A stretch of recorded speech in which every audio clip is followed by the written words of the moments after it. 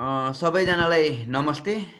यो हामीले जुन निजगढ बचाउनको लागि एउटा ग्रेटर अलायन्सको निर्माण गरेको थियौँ र विभिन्न सङ्घ संस्था विभिन्न अभियन्ताहरू मिलेर एउटा निजगढ र अन्य हामीले पहिलेबाट सुन्दै गरेको हरियो वन नेपालको धन भनेर सुनिन्थ्यो तर आजकल एउटा यस्तो परिस्थिति सृजना भएको छ कि हामी हरियो वन कसको धन भन्ने खालको कुरा र त्यो सोच्नुपर्ने बाध्यता भएको खालको स्थिति छ।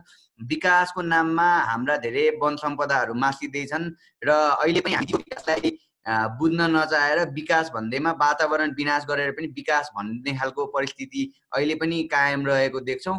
र यसै सन्दर्भमा अझै मुख्य रूपमा जब हामी बारेमा कुरा गर्छौँ मान्छेलाई भन्नलाई सजिलो के हुन्छ भने यिनीहरू कुनै एनजिओबाट फन्डेड भए कि यिनीहरूले चाहिँ कुनै अर्को भनौँ न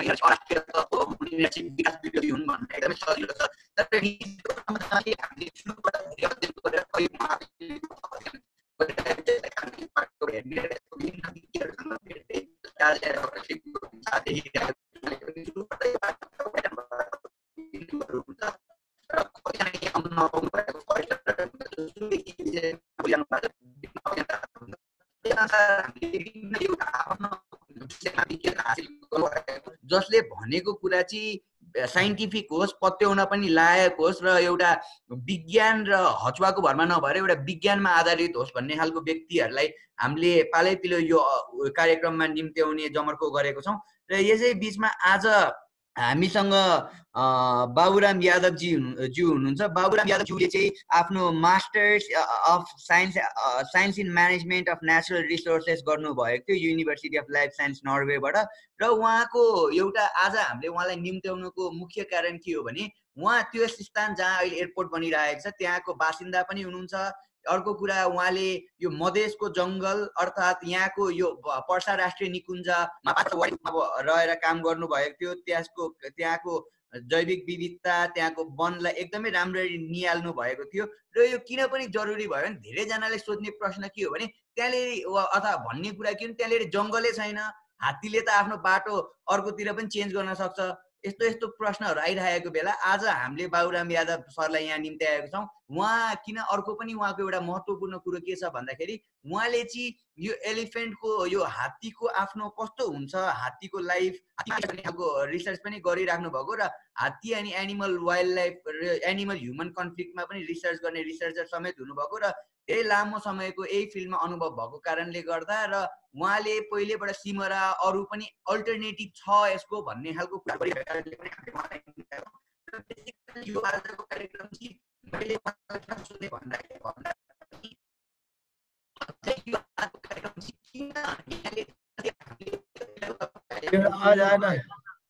आवाज क्लियर छैन। हजुर। आवाज क्लियर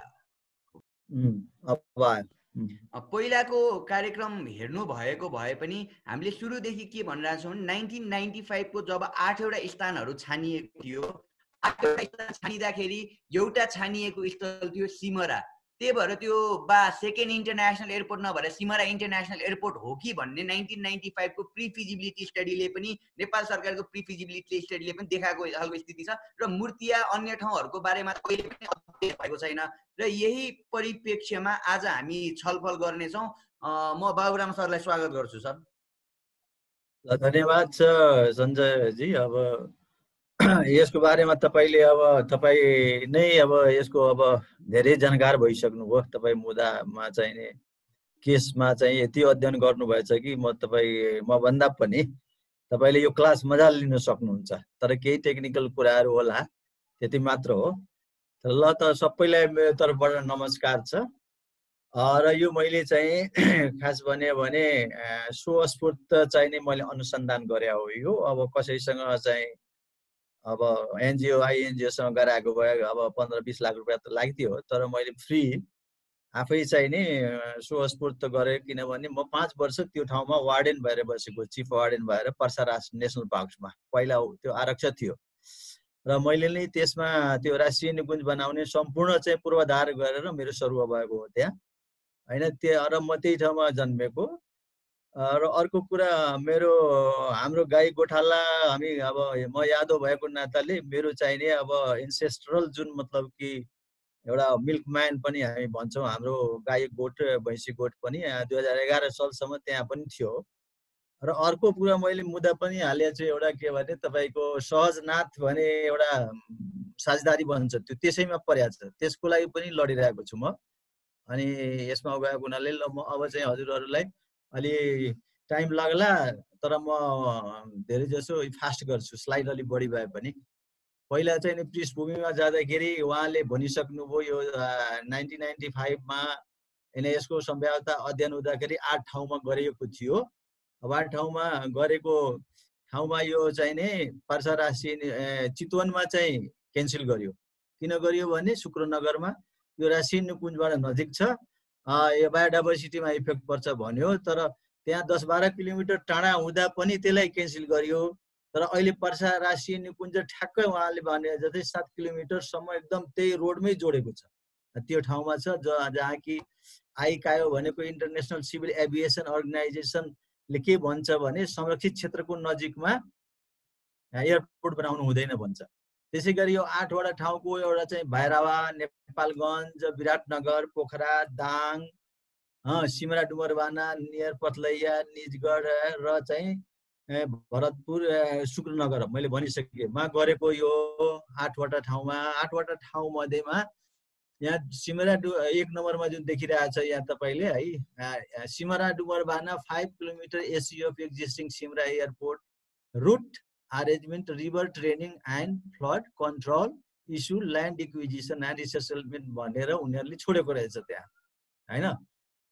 अब यो छोडेको रहेछ त्यो ठाउँमा यहाँ चाहिने जम्मा एउटा रिभर छ र अहिलेको स्थानमा आठवटा रिभर छ।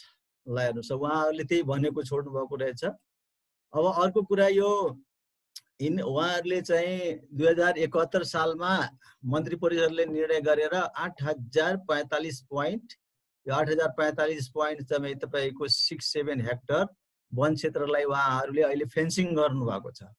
र त्यो फेन्सिङ गर्दाखेरि अहिले जनावरलाई हिँडडुल गर्न गाह्रो भएको छ। त्यो एलिफेन्टको मेन हेबिटेट हो प्राइम हेबिटेट हो त्यहाँ। किनभने धेरै पानी छ जति पनि पानी छ प्रशस्त छ। हात्तीले दुई सौ लिटर पानी खानुपर्छ डेली दुई सौ चाहिँ केजी घाँस खानुपर्छ। त्यो प्रशस्त भएको हुनाले अब यो चाहिँ नि तपाईँको के भने सात सात हजार दुई हेक्टर वन क्षेत्र छ जसमध्ये। आठ हजार मध्येमा सात हजार दुई हेक्टर त वनै छ। मिक्स्ड फरेस्ट हो यो हार्डवुड फरेस्ट हो। साल चाहिँ मुख्य डोमिनान्ट छ। Sixty to seventy percent sal forest. र यसमा चाहिँ के छ भने एउटा उन्नाइस सय हेक्टरमा अहिले उहाँहरूले क्लेम गरिरहेको छ। तेह्र सय हेक्टरमा विमानस्थल बनाउने छ सय हेक्टरमा एयरपोर्ट सिटी निर्माण गर्ने भनेर उहाँ होइन यस्तो हामी गर्दैनौँ तर इआइए यही स्वीकृति भएको छ। इआइए स्वीकृति भएको यही हो होइन? त्यसले गर्दा चाहिने मतलब यो शङ्कास्पद रहेको छ। अब अब घरधुरी जनसङ्ख्या चाहिँ कति रहेछ त्यो एरियामा भने टाङ्गिया बस्ती छ कि? टाङ्गिया बस्ती भनेको चाहिँ अब तपाईँहरूलाई अब टाङ्गिया सिस्टम भनेको बर्मेली सिस्टम हो यो एग्रो फरेस्ट्री सिस्टम हो। एग्रो फरेस्ट्रीको लागि यिनीहरूलाई ल्याएर त्यहाँ बसालियो हामी फर्गट फरेस्ट्री पढ्दाखेरि हामी त्यहाँ जान्थ्यौँ। अनि तिन वर्ष एउटा क्षेत्रमा प्लान्टेसन गर्ने फेरि अर्को छोड्ने त्यो रुख बिरुवा हुर्किन्छ।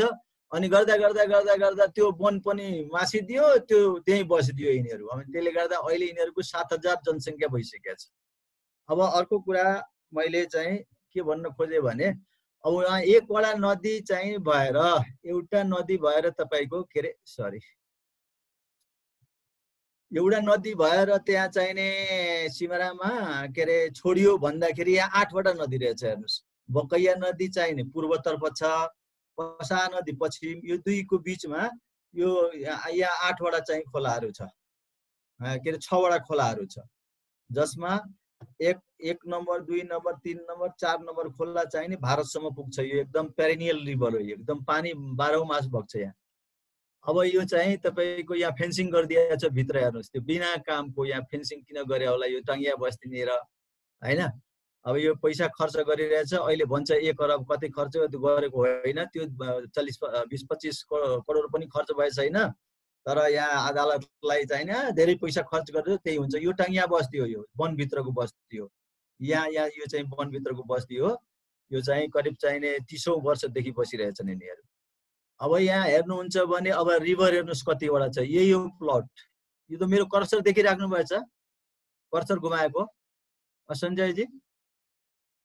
यो क्रसर हेरिराख्नु भएको छ तपाईँहरू? ए अँ देखिराख्नु भएको छ। अब यो जुन छ यो मैले कर्सर घुमाइरहेको यो हो चाहिने तपाईँको अहिले उनीहरूले फेन्सिङ गरेको एरिया। तलतिर यो चौध किलोमिटर फेन्सिङ छ। यतातिर यो यो छ किलोमिटर फेन्सिङ छ यहाँ छ किलोमिटर यो हाइवे हो। अनि यसमा हेर्नुहोस् यो पनि अब यो यो चाहिँ एउटा रिभर छ यहाँ एउटा रिभर छ यहाँ एउटा रिभर छ यहाँ एउटा रिभर छ। अनि अरू चाहिँ तपाईँको यो तिनवटा यो एक दुई तिन चार। अनि अरू चारवटा रिभर्सहरूको चाहिँ नि एरिया हेर्नुहोस् कति छ। यत्रो एरिया छ यो टोटल। अब सिमरामा चाहिँ एउटा मात्र रिभर हुँदाखेरि अलिकति त्यहाँ चाहिने तपाईँको उहाँ चाहिँ आठ सय बिघा चाहिँ हाम्रो नेपाल सरकारको जग्गा पनि छ हरेक चिज छ। उहाँहरूले हामीले भनिरहेछौँ बाबा यहाँ नबनाऊ। यत्रो आठ सात हजार हेक्टर वन किन तिमीहरू मास्छौ? भन्दा पनि उहाँहरू अब मानिराख्नु भएको छैन अदालतमा मुद्दा छ। ल हेर्नुहोस् त कति रिभरहरू छ यो कति छ? संसारै संसार छ दुनियाँ अब होइन? उहाँ चाहिँ नि त्यसले गर्दा अब यो अब दक्षिणी भेगका जनतामा पर्ने प्रभाव के रहेछ भन्ने हजुरको अब साउदर्न बेल्टको दसवटा स्थानीय सरकार छ त्यहाँ। त्यसपछि साझेदारी वन छ। यसको उपभोक्ताहरू चाहिँ करिब यो जुन दुई नम्बरमा साझेदारी वन उपभोक्ताहरू वनबाट वञ्चित हुने यसमा करिब तिन लाख चाहिने मतलब कि जनसङ्ख्या छ यो वनसँग। दुईटा उपभोग वन छ। ग्वालाहरू यादवहरूको पुर्खौली अधिकारबाट वञ्चित पहिला एघार सालसम्म मेरै गोठ थियो त्यहाँ।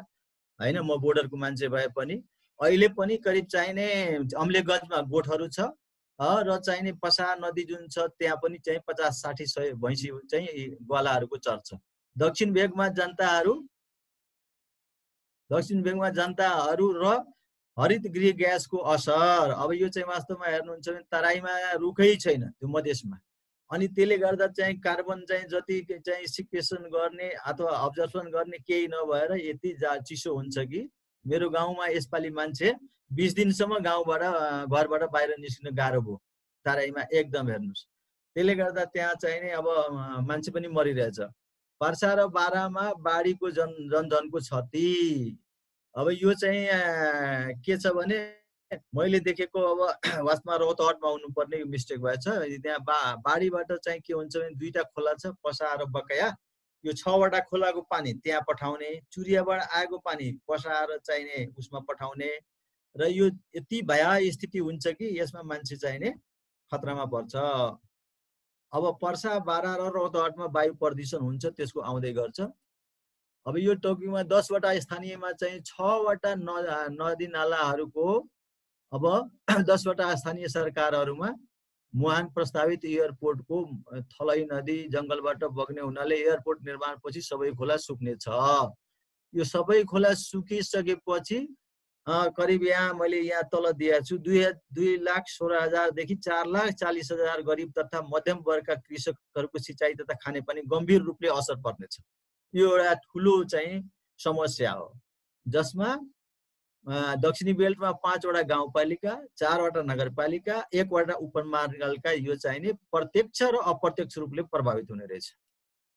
अब साझेदारी वनका उपभोक्ताहरूबाट वञ्चित कति हो भने तेइसवटा गाविस साबिकमा चौवालिस हजार नौ सय सत्ताइस घरधुरी अनि दुई लाख अठासी हजार चार सत्ताइस उपभोक्ताहरूको चार हजार आठ सय चालिस हेक्टर साझेदारी वन प्राप्त हुने वनद्वारा वञ्चित हुनेछ भनेको मतलब आठ हजार हेक्टरमा तपाईँको चार हजार आठ सय चालिस साझेदारी वन नै छ। तिन लाख जनसङ्ख्याको। त्यो पनि त्यसैमा परेको छ। त्यो नदिने। त्यो पनि काट्ने। अब ग्वालाहरूको मैले भनिसकेँ यो यो अब यसले स्केप गरिदिउँ। दक्षिण भेगमा जनताहरू हरित ग्यासको पनि भनिसके जाडाले चाहिने जाडोमा मान्छेहरू मृत्यु दर बढ्दै गएको छ रुख बिरुवा छँदै छैन अनि हरित ग्या- ग्यासको बारेमा म किन धेरै आजकल शब्द मान्छेले जानेको छ तर हरित गृह ग्यास अनुपस्थितिमा यो पृथ्वीको तापक्रम माइनस अठार डिग्री सेल्सियस भई सम्पूर्ण सृष्टि समाप्त हुन्छ भनेर यो चाहिने लिटरेचरहरूमा छ। बाह्र र पर्सामा बाढीबाट जनधनको क्षति। माथि उल्लेखित छवटा खोलाहरूमा बग्ने पानी चेनलाइज गरी पसा र बकैया नदीमा पठाउने योजना रहेछ।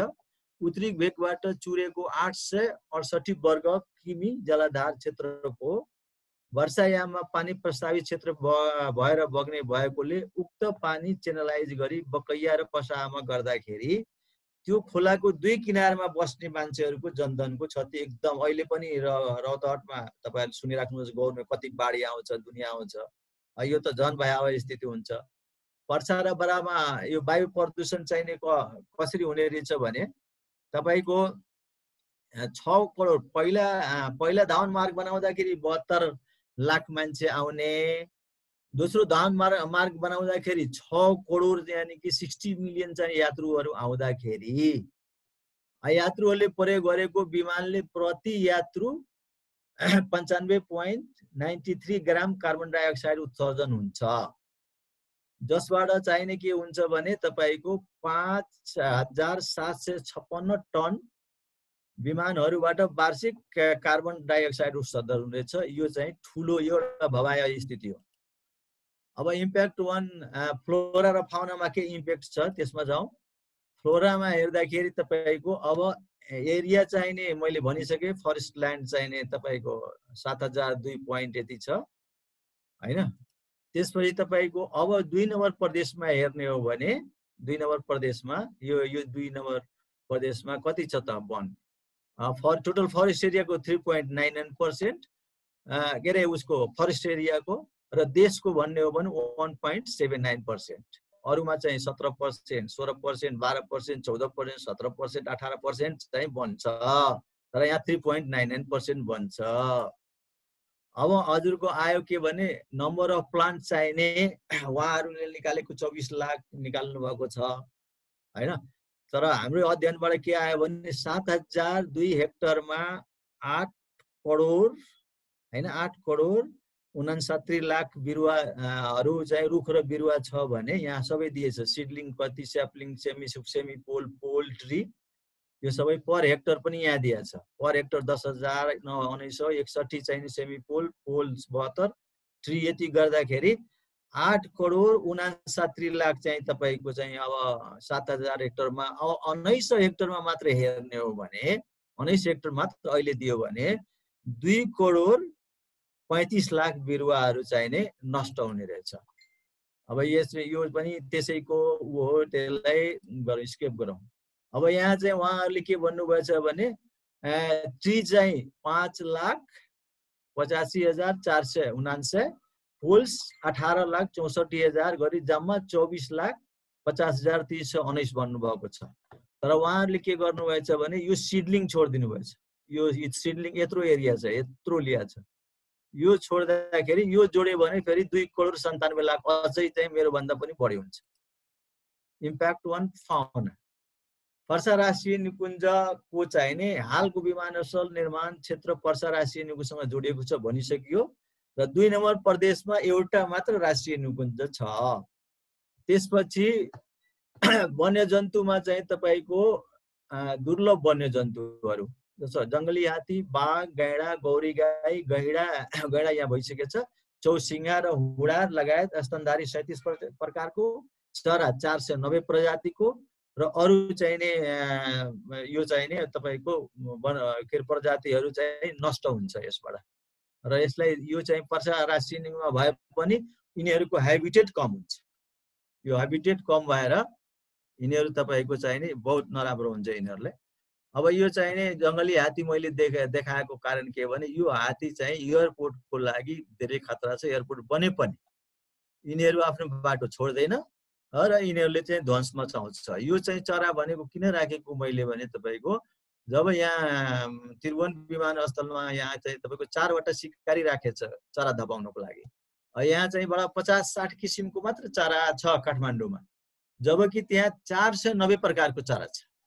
होइन चार सय नब्बे प्रकारको चरा मध्ये धेरै ठुलो चराहरू पनि छन् चालिस पचास सय किसिमको होला। त्यहाँ त एकदम विमान ठोक्छ ठोक्छ यो पनि ठुलो। त्यसैले अब बाघ भनेको तपाईँको अहिले अठारवटा बाघ छ वर्षा राशि निकुञ्जमा त्यही एरियामा त्यो वनमा। र गैँडा पहिला एउटा दुईवटा मात्र थियो अहिले दसवटा गैँडा भइसकेको छ। त्यसले जङ्गली हात्ती प्रतिकूल असर अब हेर्नै पर्ने के भयो भने यो यसबाट जङ्गली हात्तीहरू नेपालको रैथाने जङ्गली हात्ती हो पर्साको झन् किनभने तपाईँको पर्सामा जन्मे हुर्केको हात्ती चाहिँ पचासदेखि साठीवटा अहिले छ यो इन्डियाबाट आएको होइन। तर यो अरू जुन छ यो तपाईँको यो नेपालमा पश्चिमको मध्यपश्चिमको हात्ती पनि इन्डियाबाट धेरै इन्डियाबाट आएको छ सुदूरपश्चिमको इन्डियाबाट आएको छ र पूर्व पनि इन्डियाबाट आएको छ। तर यो चाहिँ वास्तविक वंशजको नागरिक बन्यो भने यही हो तपाईँको यो यहाँ पर्साको राष्ट्रिय नुनको हात्ती। र यो चाहिँ हात्ती तपाईँको यो नेपाल संसारमा पहिला चाहिँ सय वर्ष पहिला बिसदेखि पच्चिस लाख अनि अफ्रिकन हात्ती चालिसदेखि पचास लाख जति थियो। तर अहिले चोरी सिकारी इत्यादि यसको चाहिँ ले गर्दाखेरि एसियन हात्ती जम्मा पचास हजारसम्म छ भने अनि तपाईँको चाहिँ अफ्रिकन हात्ती पाँच लाख जति छ संसारमा।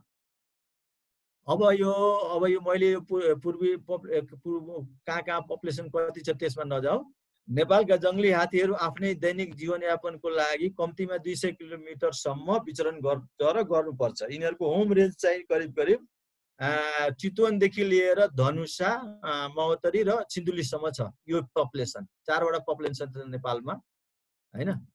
त्यो पपुलेसन मध्येमा जङ्गली हात्ती प्रतिकूल असरमा चाहिँ के छ भने यस प्रस्तावित विमानस्थलको घेराबारले जङ्गली हात्तीहरूको करिब सय किलोमिटर होम रेन्ज कटअप गर्छ। यसले जस्तो अब निजगढदेखि लिएर धनुषा महोत्तरी तपाईँको जाने हो भने एक सय किलोमिटर यिनीहरू जान पाउँदैन विचरण गर्न पाउँदैन। अनि यिनीहरूको जीवनमा चाहिँ के हुन्छ हात्तीको सङ्ख्या बरकरार राख्न गम्भीर समस्या उत्पन्न भई यसको सङ्ख्या ध्वस्त हुने अधिकतम सम्भावना हुन्छ। अब यहाँ चाहिने हाम्रो सञ्जयजीले नै उपलब्ध गराएको यो चाहिँ नि मैले राखिदिएको छु। यहाँ यो हात्ती चाहिँ हिँड्ने रुटहरू यस्तो हो। हात्ती यसो यहाँ यहाँ गएर यता यतातिर यसो जाँदै जाँदै कहाँ कहाँ पुग्छ हेर्नुहोस् हात्तीहरू अब यो जुन ब्लू छ मोर सुइटेबल ठाउँ रहेछ क्या हात्तीको लागि। अनि यही सुइटेबल एरियामा यो एयरपोर्ट छ। अनि के हुन्छ त भन्नुहोस् त? हात्तीले छोड्छ यो त्यही रुट हो। यो यो यही यही यसैको छेउछाउ छ यही खोलाको अब किरा फटेङ्ग्रा यो भनेर त हामीले अब जहिले पनि कुनै पनि अनुसन्धानमा किरा फटेङ्ग्रालाई त्यति महत्त्व दिँदैनौँ तर सात हजार हेक्टरमा तपाईँको एक्काइस खरब उन्चालिस अरब सैँतिस करोड चाहिँ किरा फटेङ्ग्राको नोक्सान हुने रहेछ भने उन्नाइस हेक्टर मात्र गर्दाखेरि पाँच खरब अठासी अरब चाहिँ तपाईँको किराहरू किरा फटेङ्ग्रा यो सबै नोक्सान हुन्छ जस्तो यिनीहरू छन् यी किरा फटेङ्ग्राहरू तपाईँको हुन् होइन? है यो टर्माइट्स त अब यो टर्माइट्स हेरिहाल्नु तपाईँहरू। अब अब मैले चाहिँ अब यो चाहिँ एउटा राखेका थिएँ यसलाई अब चाहिँ नराखौँ जस्तो लाग्यो। यो आएछ एउटा परेछ सञ्जयजी? हेलो? हेलो सञ्जयजी? हजुर हजुर। यो चाहिने यो यो के गरेर यसलाई स्केप गरिदिउँ यो? स्केप स्केप गरौँ सर स्केप गरौँ। लस अफ इकोनोमिकल के अरे इकोलोजिकल सर्भिसेसमा हाम्रो के छ भने oxygen loss carbon emission carbon dioxide sequestration nitrogen phosphorus potassium organic matter natural beauty यो सबै चाहिँ नि लस हुने रहेछ। अब लस हुँदाखेरि तपाईँको कति लस हुने रहेछ भने तपाईँको अक्सिजनको मात्रै हेर्दाखेरि तपाईँको यो three three ninety seven point four nine seven two चौध सय पैँसठी पोइन्ट जिरो टू बिलियन्स यो चाहिँ उन्नाइस सय हेक्टरमा चाहिँ यो तिन के अरे तिन खराब हुने रहेछ भने सात सात हजार दुई हेक्टरमा चौध खरब चाहिँ अक्सिजन चाहिँ नै खतम हुँछ अक्सिजन मात्रै। अक्सिजन र ऊ होला त्यो अर्को पनि होला। अब यसमा यो पनि तपाईँको स्केप गरौँ त्यो भनिसकेँ मैले यो। अब आयो loss of ecological services according to EIA रिपोर्टको अनुसार चाहिँ इआइए रिपोर्टको अनुसार अब यो पनि राखिदिन्छु। इआइए रिपोर्ट अनुसार तपाईँको इकोलोजिकल लसमा यहाँ लस अफ चाहिँ कार्बन सिक्चुएसन भनिएको छ। लस अफ अक्सिजन रिलिज यी सबै गरेर फस्फोरस पोटासियम अर्ग्यानिक म्याटर लगाए उहाँहरूले कति निकालेको छ भने इआइए रिपोर्टमै तपाईँको दुई खरब एकतिस अरब चाहिँ तपाईँको निकालेको छ। उसको इआइए रिपोर्टमा। तर इआइए रिपोर्टमा हेर्नुहुन्छ भने यो जम्मा चाहिँ पाँच लाख छ्यासी हजार ट्रीको मात्र निकाल्यो कि उनीहरू। जब उनीहरूले चौबिस लाखको निकाल्नु पर्ने ठाउँमा पाँच लाख छ्यासी हजारको निकाल्दाखेरि दुई खरब एकतिस अरब। यो कहिले निकाल्ने हो यो पैसा? कहाँबाट? अब त्यसै गरी अब तपाईँ लस अफ इकोलोजिकल अब यसमा चाहिँ अब पोल अब सबै रुख बिरुवाहरू राख्ने हो भने हाम्रो स्टडीबाट अहिले तत्कालै पनि निकालेको। नौ खरब एघार अरब जाने रहेछ। उहाँहरूले दुई खरब एकतिस मात्र गर्नुभयो तर एक्चुअल चाहिने सबै प्लान्टहरूको गर्यो भने त्यो अरू अरू पोल सोल सबै साइजमा उहाँले गर्यो भने चौबिस लाखको अथवा अलिक बढी गर्यो भने नौ खरब एघार अरब आउने रहेछ। त्यसै गरी अब ट्री अब्जर्भ वाटर अब एउटा चाहिँ एउटा ट्रीले चाहिँ तपाईँको हेल्दी ट्रीले बयालिसदेखि एक सय पचास टनसम्म वाटर यसले चाहिने आफ्नो जराबाट रिलिज गरेर भ्यापर माथि पुऱ्याउँछ क्या। भ्यापर भेपोरेसनबाट माथि जान्छ अनि रेन वाटर चाहिँ हाम्रो फेरि रेनफल हुन्छ। एउटा ट्रीसँग यति क्यापासिटी छ। मिनिमम चाहिँ फोर्टी टू म्याक्सिमम एक सय पचास टन वाटर जसबाट रिलिज वाटर पर हेक्टर एक हेक्टरमा एक हेक्टर भनेको बिस रोपनी हुन्छ जेनरली एक हेक्टरमा तपाईँको वाटर रिलिज कति भयो भने एकानब्बे हजार चार सय उनपचास टन र म्याक्सिमम तपाईँको एक सय पचास लिने हो भने दुई लाख उना उन्चालिस हजार एक सय बिस टन अब यसको मैले मूल्याङ्कन गरेको two point five rupees per litre गर्दाखेरि पनि तपाईँको चार सय सन्ताउन्न मिलियन टु तपाईँको पाँच सय सन्तानब्बे मिलियनसम्म चाहिँ यसको चाहिँ मोनिटरिङ टर्ममा आउने रहेछ। अब यो मैले त्यसै यही टेबलहरूको निकालेको यो टेबलबाट त्यो निकालेर त्यहाँ माथि समराइज गरिदिया हो। Impact of large number of aero passenger in the country देशमा चाहिँ अब तपाईँको छ हजार साठी मिलियन पेसेन्जर तपाईँले ल्याउनुहुन्छ हो? साठी मिलियन भनेको उसमै छ यो इआई e रिपोर्टमा छ है मेरो आफैले बनाएको होइन। पहिला इआई e रिपोर्टमा के छ भने ए यो नाइन्टी टू लाख पेसेन्जर दुई हजार तिसमा होइन? जब पहिलो चाहिँ धावन मार्ग बनिसकेपछि दोस्रो धावन मार्ग बनेपछि साठी मिलियन पेसेन्जरहरू आउने। अब यसको चाहिने created by large number of एभो मेन्सन यो पेसेन्जरबाट के हुन्छ त? होमेन डेफिकेसन भनेको उहाँहरूले दिसा पिसाब गर्दाखेरि दस दिन मात्र बस्यो भने तपाईँको चार पोइन्ट आठ मिलियन टन चाहिँ त्यसको ह्युमन डेफिकेसन चाहिँ तपाईँको जम्मा हुन्छ। हो? अच्छा। ल त्यसो भए यो एउटा यसमा आएको आउँदाखेरि यो यो मेरो यो कर्सर त देखिराख्नु भएछ नि यो यो थर्टी थ्री ग्राम्स मात्र एउटा हेर्नुहोस् एउटा चाहिँ एउटा सबभन्दा विडम्बना के छ भने अक्सिजन चाहिँ बढी दिन्छ ट्रीले र यो चाहिँ कार्बन चाहिँ कम के एकदम। तिन सौ अठाइस ग्राम चाहिँ अक्सिजन दिने तर यो कार्बन जम्मा चाहिँ तेत्तिस ग्राम मात्र चाहिँ उ गर्ने रहेछ क्या लिने रहेछ क्या त्यसले गर्दा अब त्यतिको लागि हामीलाई सत्र करोड चौवालिस लाख ट्री चाहिने मेन्टेनको लागि फेरि हामी कहाँ रोप्ने त्यो सिमरा एरियामा? कहाँबाट ल्याउने र त्यो कार्बनलाई सिक्वेसन गर्नको लागि अब्जर्भ गर्नको लागि? यो चाहिँ एउटा ठुलो समस्या। र चाहिँ यत्रो टन चाहिँ नि पाँच हजार सात सय छप्पन्न टन चाहिने मतलब कि कार्बन चाहिँ आउँछ त्यहाँबाट। अब यो कन्टिन्यू एयरक्राफ्ट इन्जिनले चाहिँ तपाईँको अब एयरक्राफ्ट हिट दिन्छ नोइज दिन्छ पार्टिकुलेट्स दिन्छ gas contributes to climate change global warming गर्ने रहेछ।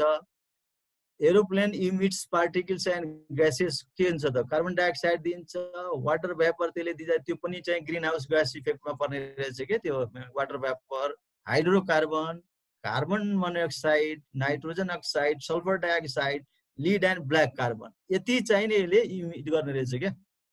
एयरपोर्ट कल्चरल डिप्लिसनमा म अब यो धेरै नजाउँ। अब यो पश्चिमा संस्कृति अथवा अरू संस्कृति हाम्रो जुन अहिले पूर्वीय संस्कृतिमा हामी धेरै चाहिने अब सबैले ध्यान दिइरहेछ। डिभोर्स सिभोर्स सिस्टम इत्यादि चाहिँ छ त्यो युरोपमा म पनि युरोपमा पढेको देखिरहेको छु त्यहाँ sixty six sixty five percent चाहिने तपाईँको नर्वेमा चाहिने डिफोर्स सिस्टम छ। पपुलेसन बढ नबढे पनि त्यहाँ चाहिँ बहुत अप्ठ्याराहरू पनि छन्।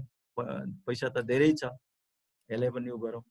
अब कस्ट बेनिफिट एनालाइसिसमा जाँदाखेरि हामीले अब यो त मैले यो के गरेको छु भने तपाईँको इआइएमा अध्ययन गरेर यो सबै टेबल टेबलबाट चाहिँ निकालेको छु मैले यो हरेक टेबलबाट क्या कति कति कुन कुन शीर्षकमा कति चाहिँ इआईमा गरेको छ यो? अनि त्यो चाहिँ देख्न।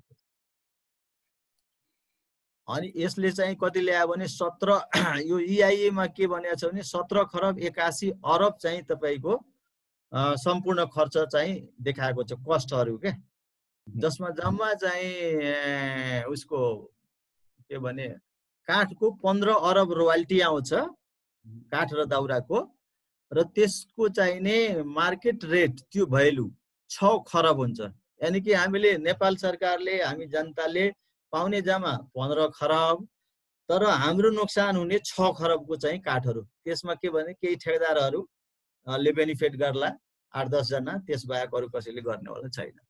र यसैको लागि सायद यो बढी जोड चाहिँ उहाँहरूले दिनुहुन्छ कि यहीँको यहीँ हुनुपर्छ भने मेन चाहिँ कुरा यही हो जस्तो लाग्छ मलाई।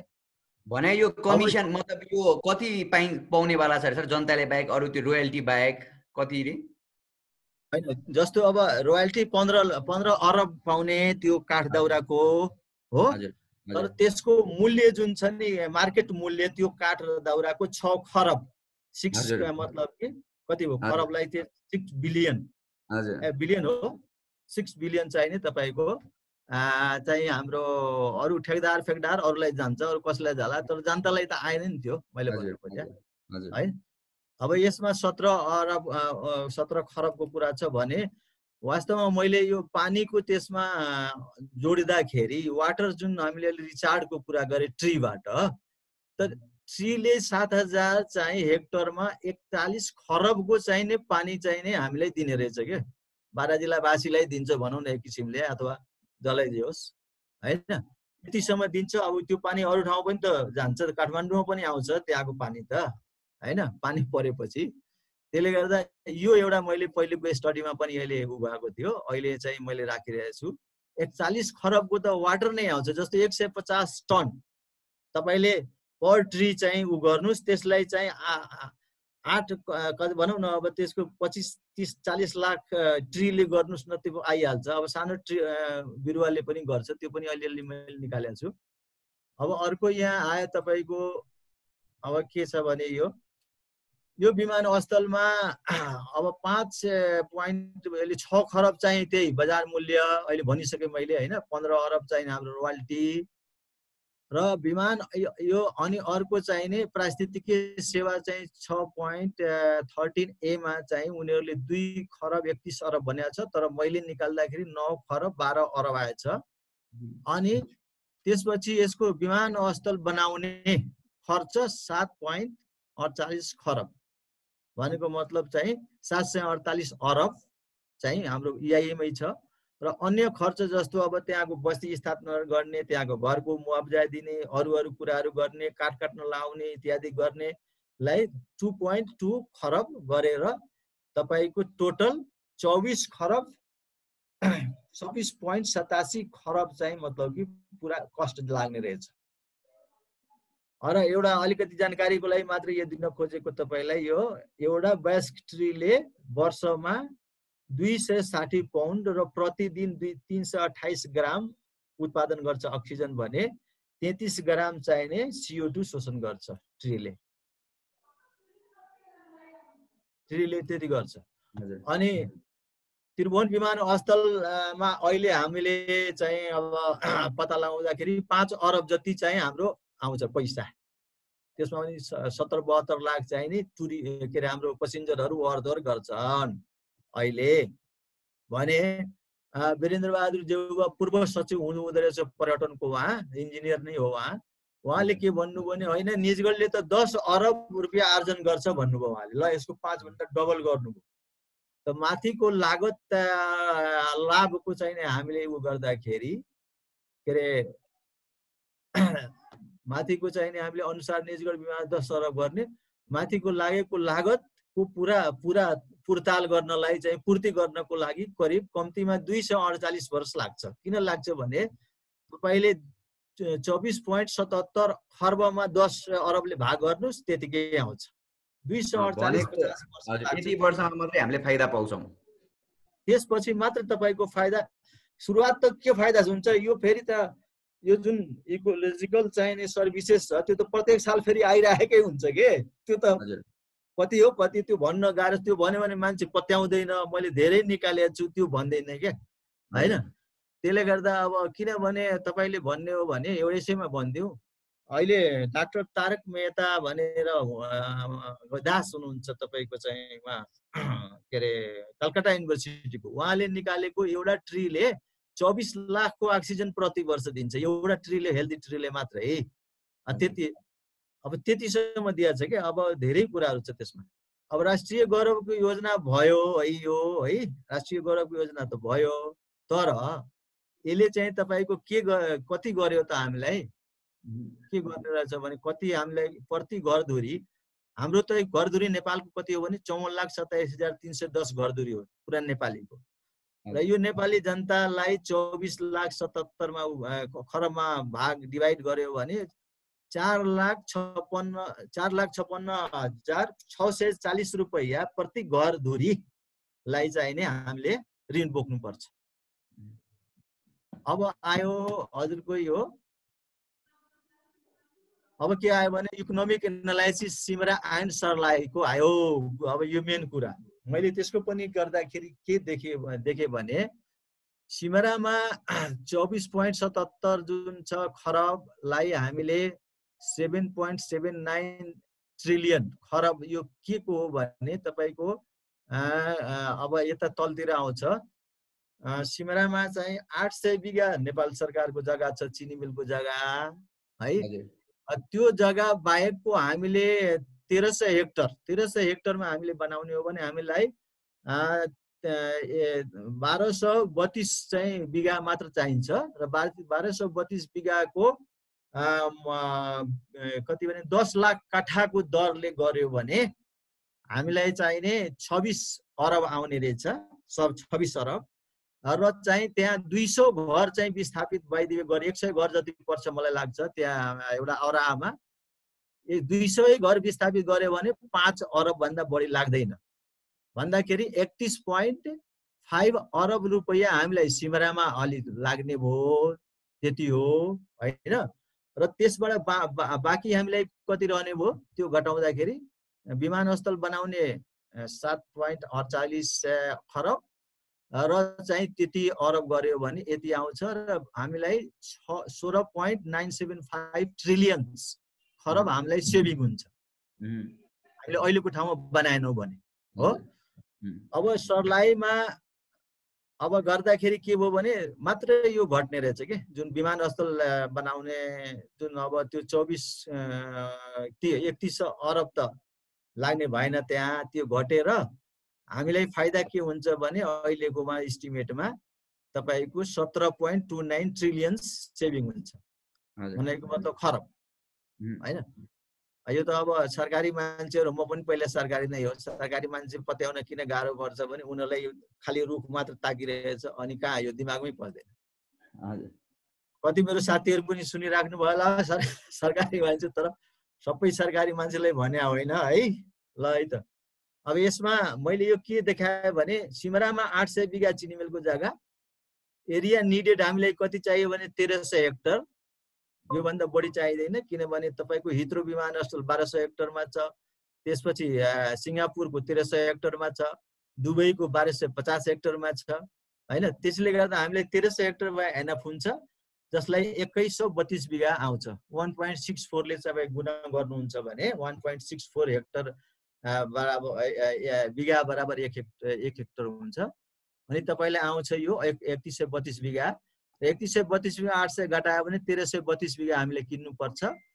अनि चाहिँ तपाईँको के छ भने दुई दुई करोड प्रति बिघा र टोटल तेह्र सय बिघालाई हामी पैसा तिर्नु पर्यो दुई एक सय घर जति होला त्यहाँ एउटा औरा बिचमा अलिक गाउँ पर्ने रहेछ। त्यसमा दुई सौ नै राख्यो भने टु पोइन्ट फाइभ चाहिँ हामीले चाहिँ करोड चाहिने एउटा घरलाई दियो भने तपाईँको कति भने पाँच अरब आउने रहेछ। त जम्मा चाहिँ एकतिस पोइन्ट फाइभ अरब हाम्रो खर्च हुन्छ सिमरामा गऱ्यो भने म्याक्सिमम् है? त्यो त म यसमा अध्ययन गर्नुपर्छ। त्यो त मैले एउटा आफ्नो इस्टिमेट गरेर भने हो।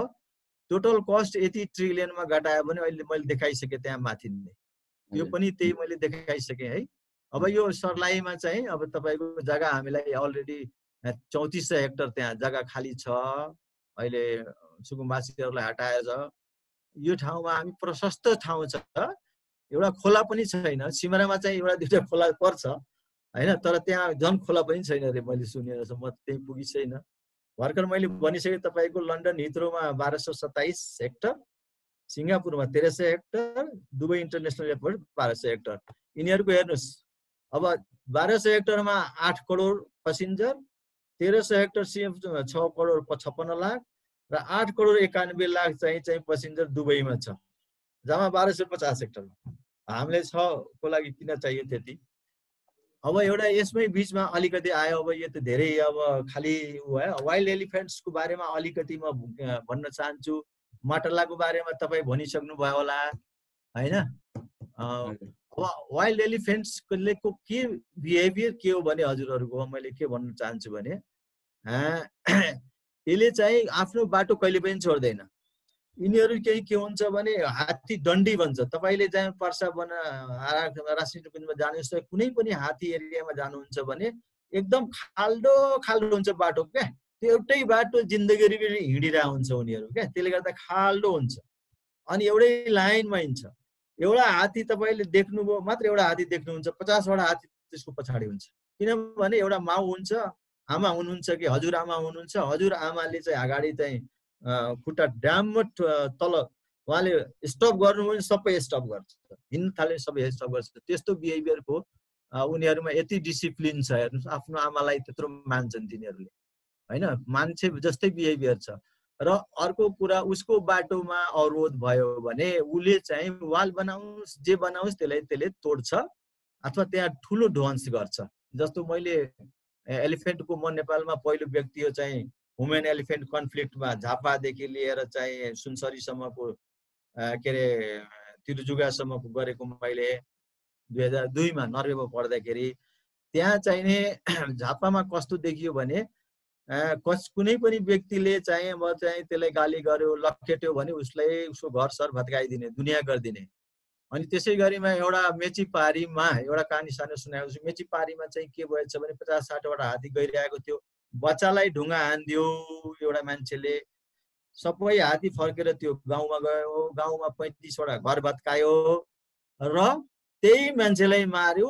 जुन मान्छेले तपाईँको चाहिँ हात्तीको बच्चालाई ढुङ्गा हानेको थियो। यति सेन्सिटिभ हात्तीले त्यो सिमरा एयरपोर्ट एयरपोर्ट बनाएपछि चाहिँ त्यहाँको वाल भड्काउँछ जुन ढोका हुन्छ ढोकाभित्र गएर भित्र पस्छ र मान्छे मार्न सक्छ। यत्रो चाहिने म डिफे हुन्छ तपाईँको रिभेन्ज हुन्छ रिभेन्ज लिन्छ क्या तिनीहरू। एउटा त्यो मैले भनिसकेँ हात्तीको बारेमा श्रीलङ्काको माटला एयरपोर्टमा तपाईँको चाहिँ के अरे माटला एयरपोर्टमा चाहिने पहिलो फ्लाइटमै चाराले ठोकेको छ र अहिले चाहिँ त्यो एउटा टुरिस्ट प्लेस बनेको छ माटला एयरपोर्ट त्यत्रो इन्टरनेसनल एयरपोर्ट बनाउँदाखेरि।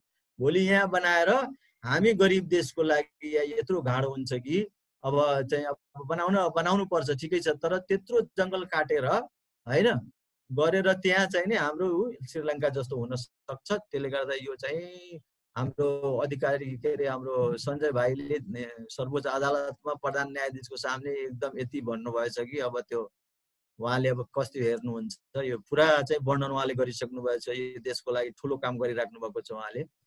अब अब यो के छ भने अब एउटा हजुरहरूलाई म एउटा चाराको बारेमा सुनाउनै पर्छ एउटा ब्ल्याक टिट भन्ने चारा हुन्छ फिस्टे चारा हुन्छ एकदम सानो चारा हुन्छ। यो चाराले एक वर्षमा एक लाख छ्यासी हजार किरा खान्छ यसले आफ्नो लाइफ होइन? यो जापानिज चाहिने के अरे वैज्ञानिकले पत्ता लगाएको छ बर्ड्स वाचरले।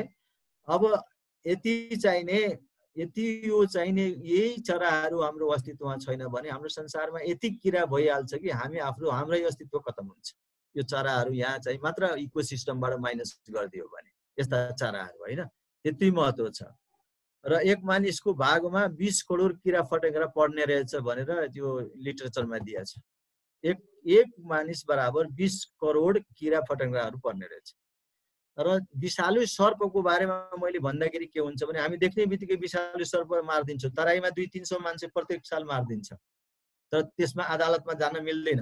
अब त्यो किनभने सर्पको बारेमा तिन सौ अनि हात्तीले चाहिँ मार्यो भने चाहिँ बहुत हङ्गामा पनि हुन्छ।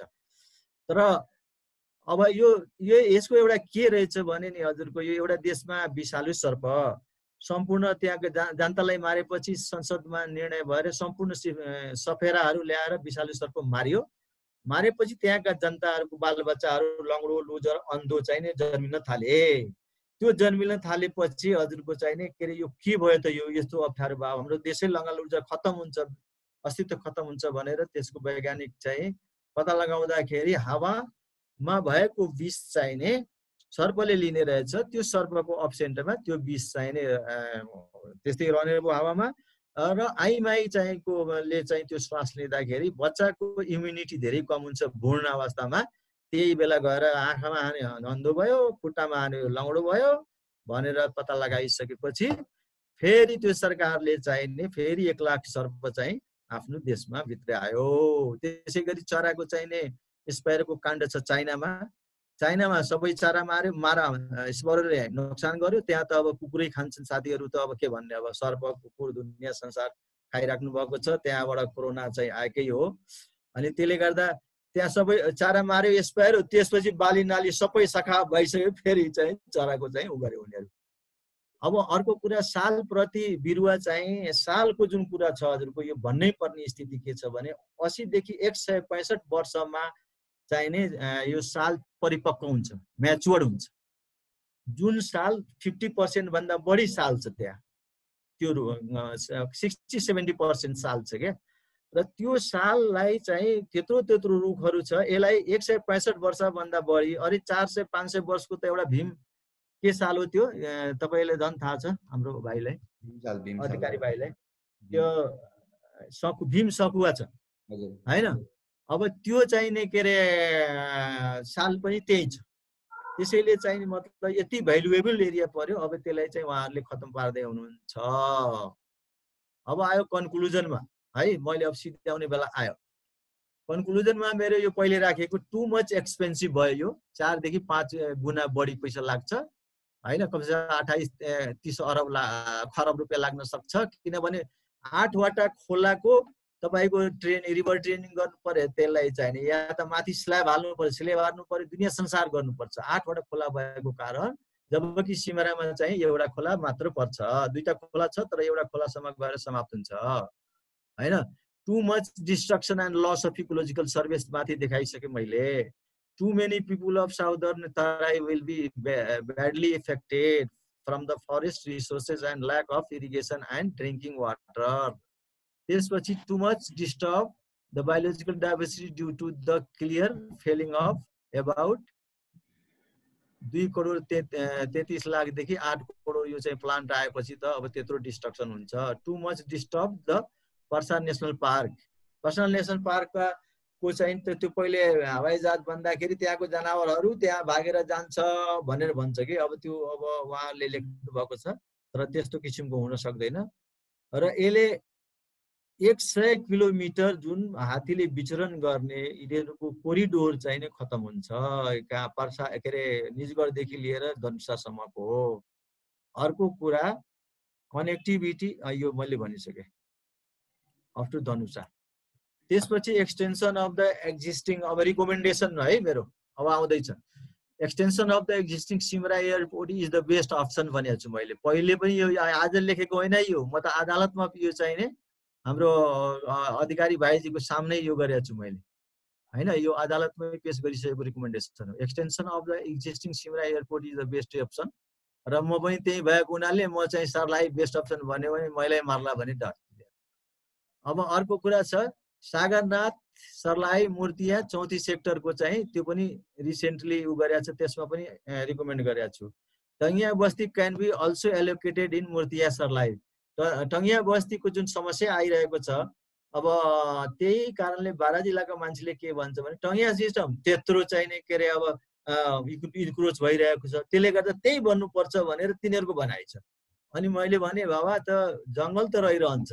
तिमीहरूले यो किन यसको पछाडि परेका छौ? होइन? त्यो रिसमा जङ्गल खतम पारिदिने त भनेर कति साथीहरूसँग मैले कुरा गरिरहेको छु। त्यसले गर्दा यो बस्तीलाई हजुरको चाहिँ कहाँ सारिदिने भने चाहिने मूर्तियामा सारेर त्यो चाहिने त्यसमा वृक्षारोपण गर्ने होइन। पाँच सय हेक्टर एरिया छ क्या। त्यो पाँच सय हेक्टर एरिया ग्रासल्यान्ड बनाइदिने नेसनल पार्क्समा राखिदिने अनि तपाईँ जनावर मजाले आउँछ टुरिज्म यति हुन्छ कि भनेर साध्य छैन त्यहाँ। Proposed site is too much costly which makes poor to Nepali people. Birds and wild elephants become destructive due to aeroplane sound. अब यहाँ आयो मैले दिएको यहाँ अलिकति नक्सा राखिरहेको छु कहाँ गयो यहाँ चाहिँ हजुरको यहाँ चाहिँ अब के छ भन्ने यसले के गरौँ यहाँ मिनिमाइज गरिदिन्छु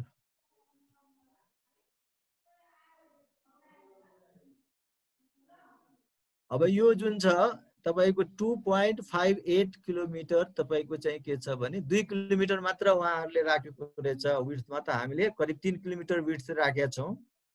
र यो एरिया जुन देखियो यो एरिया यो आठ सय बिघा करिब चाहिँ चिनी मिलको जग्गा हो यो। यसमा सेज के के केले अलिअलि अलिअलि इन्फ्रास्ट्रक्चर बनाएछ। अब कति चाहिँ उद्योग चाहियो बाह्र जिल्ला त त्यसै हुनु भइसकेको छ यति उद्योग छ। खुसी हुन्छन् साथीहरू तर त्यहाँका जनताले फाइदा केही पाउने होइन। खालि कार्बन के अरे डाइअक्साइड पाउने हो। अब यो चाहिँ अलरेडी यहाँ छ हाम्रो यो किन्नु परेन नेपाल सरकारको। अब यहाँ चाहिँ केही केही यहाँ अब यो हेर्नुहोस् खाली खाली यसो ठाउँहरू छ खास छ। अलिअलि यहाँ चाहिँ यो घ गाउँहरू परेर यो खोला यो दुईटा खोला एउटा यो खोला पर्ने रहेछ यो खोला। र यो खोला चाहिँ पर्दैन दुईटा खोला यहाँ पनि पर्दैन। अलिअलि यहाँ फरेस्ट अलिअलि मात्र पर्छ होइन? त्यो नपारे पनि यहाँ चाहिँ दुई किलोमिटर राख्यो भने यो पनि पर्दैन हो? त्यसले गर्दा यो चाहिँ नि मैले बेस्ट अप्सन किन भने भने बाह्रका र पार्साका मान्छेहरूले किन चाहिँ यसको विरोध गरिरहेछ चाहिँ भन्नै पर्छ जसरी पनि। कारण के हो भने जनकपुरमा चाहिँ राजधानी भएको हुनाले राखिदियो उहाँहरूले पूर्वका मान्छेहरूले। त्यसले गर्दा हामी एयरपोर्ट पनि नबन्न दिने भनेर त्यसले गर्दा उहाँहरूको लागि पनि यो सिमरामा चाहिँ बनाउनै पर्छ भने पनि यस्तो कुरा छ। मैले यहाँ लेखेको छु डुमरासम्म डुमरबानासम्म पढिराख्नु भयो होला। त्यसै गरी यो अब सर्लाहीमा के छ भने होइन यो सबै यो खाली खाली ठाउँ छ के? अब हेर्नुहोस् न यो सबै खाली यहाँ माथि माथि फरेस्ट छ यो चौतिस सय हेक्टर जति एरिया पर्छ यहाँ खोलाहरू अलि एउटा यता यता टाढै छ। यो खोला यहाँ पनि पर्दैन वरपर पर्छ। त्यसले गर्दा यहाँ चाहिने पनि त्यहाँ मान्नु भएन त्यहाँ हुँदै भएन अगर भन्नुहुन्छ भने उहाँहरू जब कि त्यहाँ त्यहाँ नदीको कारणले नदीको कारणले र चाहिँ केही गाउँको कारणले चाहिँ सिमरालाई क्यान्सल गरिएको छ। त नदीको कारणले गर्दाखेरि आठवटा नदी चाहिँ यहाँ छ। यो नदीलाई चाहिँ राम्रोसँग गर्यो भने यसले तलतिर एकदम लाखौँ चार लाख मान्छेलाई खतम पार्छ। होइन त्यहाँ चाहिँ केही पनि नहुने भयो सिमरामा चाहिँ केही पनि गर्दैन यसले। त्यहाँ नगर्ने उद्देश्य के हो यो? यो एकदम लुकेको उद्देश्य रहेछ क्या? त्यसले गर्दा मेरो चाहिँ अहिले thank you for all your attention and patience अब चाहिँ कति भयो त? कति मिनट लाग्यो। अब ठिक छ सर ठ्याक्कै एक घन्टा जति लाग्यो। ठिकै सर। एक घन्टा? मैले अब क्वेसन सेसन हामीले अलिअलि सरसँग क्वेसन एन्सर गर्छौँ सर। हजुर हजुर हजुर। यो चाहिँ यो स्लाइड स्क्रिन सेयर अफ गरिदिनुहोस् हुन्छ अलि। स्क्रिन के गरौँ? अफ गरिदिउँ? हजुर स्टप गरिदियो। हुन्छ स्टप अँ। स्टप भयो? हजुर भयो भयो। अब म यो फ्लोर पनि ओपन एकैछिनमा गरि नै हाल्छु होइन? अहिले एक मिनटमा आइहालेँ म है त एक मिनट बिदा दिनुहोस् है। गर्दै गर्नुहोस् म अहिलेसम्म कसैको केही प्रश्न भएमा यो च्याट बक्समा राखिदिन सक्नुहुन्छ? र यो तपाईँहरूले आफ्नो इमेल आइडी दिनुभयो भने बाबुराम सरको जुन यो स्लाइड छ हामी तपाईँहरूलाई फरवर्ड पनि गरिदिनेछौँ। सो आजको हाम्रो छलफलको किनकि एकैछिन बाबुराम सर बाहिर निक्लिनु भयो जस्तो हजुर फेरि टाइम सकिन लाग्यो। ए हो र? पाँच मिनट जति मात्रै छ हामीसँग। सो म फेरि सक्यो भने अब क्वेसन क्वेसनहरू कन्टिन्यू गर्ने भए म फेरि अर्को क्रिएट गरिहाल्छु होइन। सबैले रिजोइन मात्र गर्नुपर्छ। अँ, एकैछिन फेरि एकपल्ट गर्नु पर्ला राहुल? अहिले नै गरिदिन्छु नि त है बाबुराम सर पनि ठ्याक्कै जानुभयो। है म अहिले नै फेरि यो एन्ड गरेर रिक्रिएट गर्छु। अनि सबैजना फेरि एकचोटि जोइन गरिदिनु होला नि है। ल ल ल बाबु मैले। च्याट मैले च्याट बक्समा क्वेसन हालिसकेको छु है। मैले भनिराख्नु परेन च्याट बक्समा मैले क्वेसन हालेको छु अनि मैले हेर्नु पर्छ र त्यो कि कति के हो होइन म भन्छु. अँ भन्नुहोस्. हुन्छ. यो एकपल्ट यो टाइम सकिन लागेको कारणले गर्दा हामी एकपल्ट फेरि रिजोइन गर्नुपर्ने अवस्था भएछ। यो आज अर्को अकाउन्टबाट गर्नुपर्ने यो लिमिटेड अकाउन्टबाट ल। भएछ। है, एकपल्ट फेरि रिजोइन गर्नु पर्ला राहुल एकपल्ट उ गरिदेऊ न। Okay no problem. हुन्छ त्यो क्वेसन चाहिँ टिपिराख न है सन्जय क्वेसन हुन्छ। सरलाई एकपल्ट नत्र राख्नै लगाउँला प्रब्लम भएन। मैले टिपिसकेँ। ए ल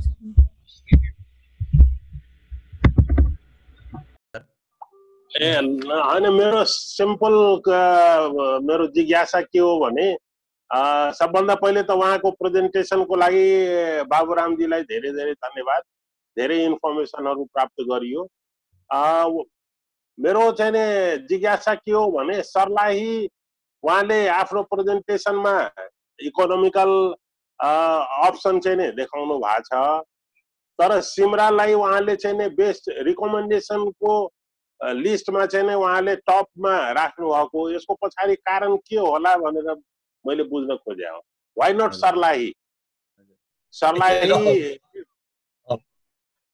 हजुर हजुर हजुर त म अब अलि मान्छे चाहिँ म प्रष्टै बोल्ने मान्छे हो। वास्तवमा सरलाई चाहिँ सबभन्दा बेस्ट नै हो है?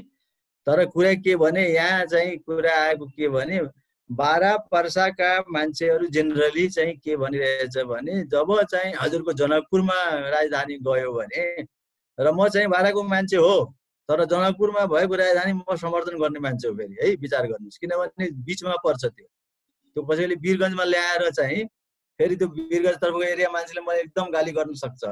जे होस् तर रियल बात त्यो हो। तर सर्लाहीमा हामीले वास्तवमा गऱ्यो भने तपाईँको फास्ट ट्र्याकबाट बढी से बढी पन्ध्रदेखि एक्काइस किलोमिटरसम्म मात्र पर्ने रहेछ क्या वास्तवमा। र सिमरामा चाहिने वास्तवमा के भने अब चिनी मिलको जग्गा पनि छ।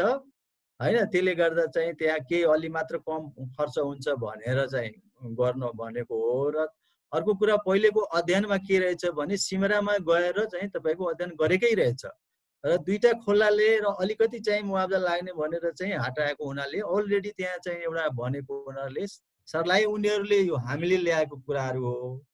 तर अध्ययनमा चाहिँ नि सरलाई छैन क्या त्यसले गर्दा तपाईँको विचारमा अगर सरलाई ठिक हो भने मेरो तर्फबाट पनि ठिक छ। तर चाहिँ के भने यो अब उसमा अध्ययनमा नराखेको हुनाले अरूले भन्न सक्छ भनेर म सिमरालाई अहिले प्रथममा राखिरहेको हो। ठिकै छ। होइन अब यहाँको यहाँको लजिक चाहिँ मैले बुझेँ। तर being being a technical person प्राविधिक व्य- व्यक्ति भए हुनाले मेरो भनाइ के हो भने यदि सर्लाही अ, सबभन्दा उपयुक्त अप्सन हो भने लेटस स्टिक टु सर्लाही होइन सेकेन्ड अप्सनमा हामी चाहिँ सिमरा भनौँला त्यो द्याट इज डिफ्रेन्ट थिङ तर सर्लाही यदि सबै दृष्टिकोणले उपयुक्त छ भने सर्लाहीलाई नै हामीले उपयुक्त भन्नुपर्छ। हामी हामी एउटा रिकमेन्डेसन पनि गर्न खोज्या हो नि त स्टेटलाई हामीले चाहिँ एउटा यो विकल्प निजगर होइन निजगर चाहिँ यस्ता समस्या समस्याले चाहिँ घेरिएका हो। त्यसैले अरू विकल्प यदि हामी दिइरहेछौँ भने विकल्पमा सबभन्दा राम्रो विकल्प दिनुपर्छ भन्ने मेरो मेरो त्यति चाहिँ मेरो भनाइ हो कि? होइन यादव सर? त्यसैले हामी let's stick to the best option है अब उहाँहरूको अधिकारीजीहरूको जुन एउटा भनौँ न त्यो एक्सन ग्रुप भन्ने छ त्यो ग्रुपलाई पनि अलिकति तागत पुगोस्।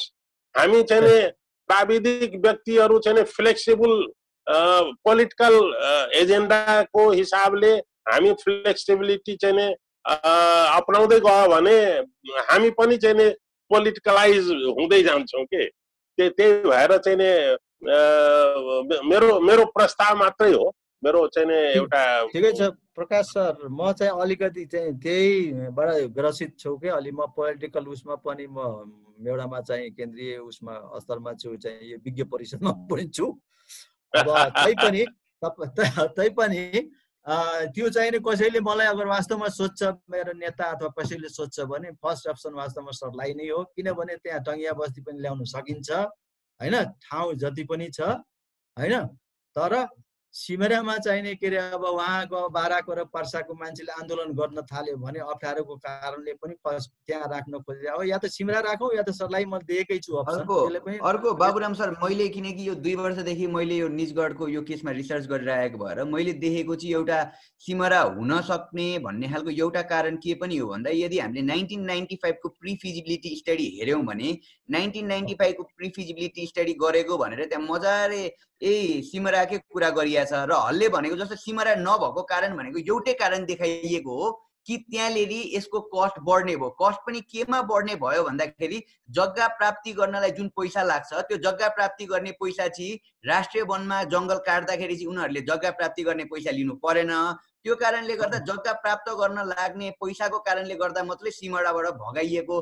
अरू टेक्निकल्ली चाहिँ सबै कुरा फिट देखाएको छ त्यसमा। The only reason they have rejected Simara भनेको चाहिँ के हो भने इकोनोमिकली त्यहाँ जग्गा प्राप्त गर्न गाह्रो हुनसक्छ जग्गा प्राप्त गर्न कन्फ्लिक्ट हुनसक्छ। त्यही भएर जङ्गलमा गयो भने चाहिँ जङ्गल काट्दाखेरि त कसैले पनि भन्दैन भन्ने खालको किन भन्दा हामी त्यो कहिलेको कुरा गरिरहेछौँ भन्दा एकाउन्न बाहन्न सालको कुरा गरिरहेको छौँ। दुई हजार त्रिपन्न सालमा मात्रै हाम्रो वातावरण संरक्षण ऐन आयो। अर्थात् हाम्रो कानुन बन्नुभन्दा वातावरणप्रतिको हाम्रो एउटा त्यो भ्यालु हुनुभन्दा अगाडि नै आएको र त्यतिखेर सायद एकाउन्न बाहन्न सालमा बनेको भए त हामीले त्यति साह्रो अहिले जस्तो यो इस्यु पनि हुँदैन थियो होला।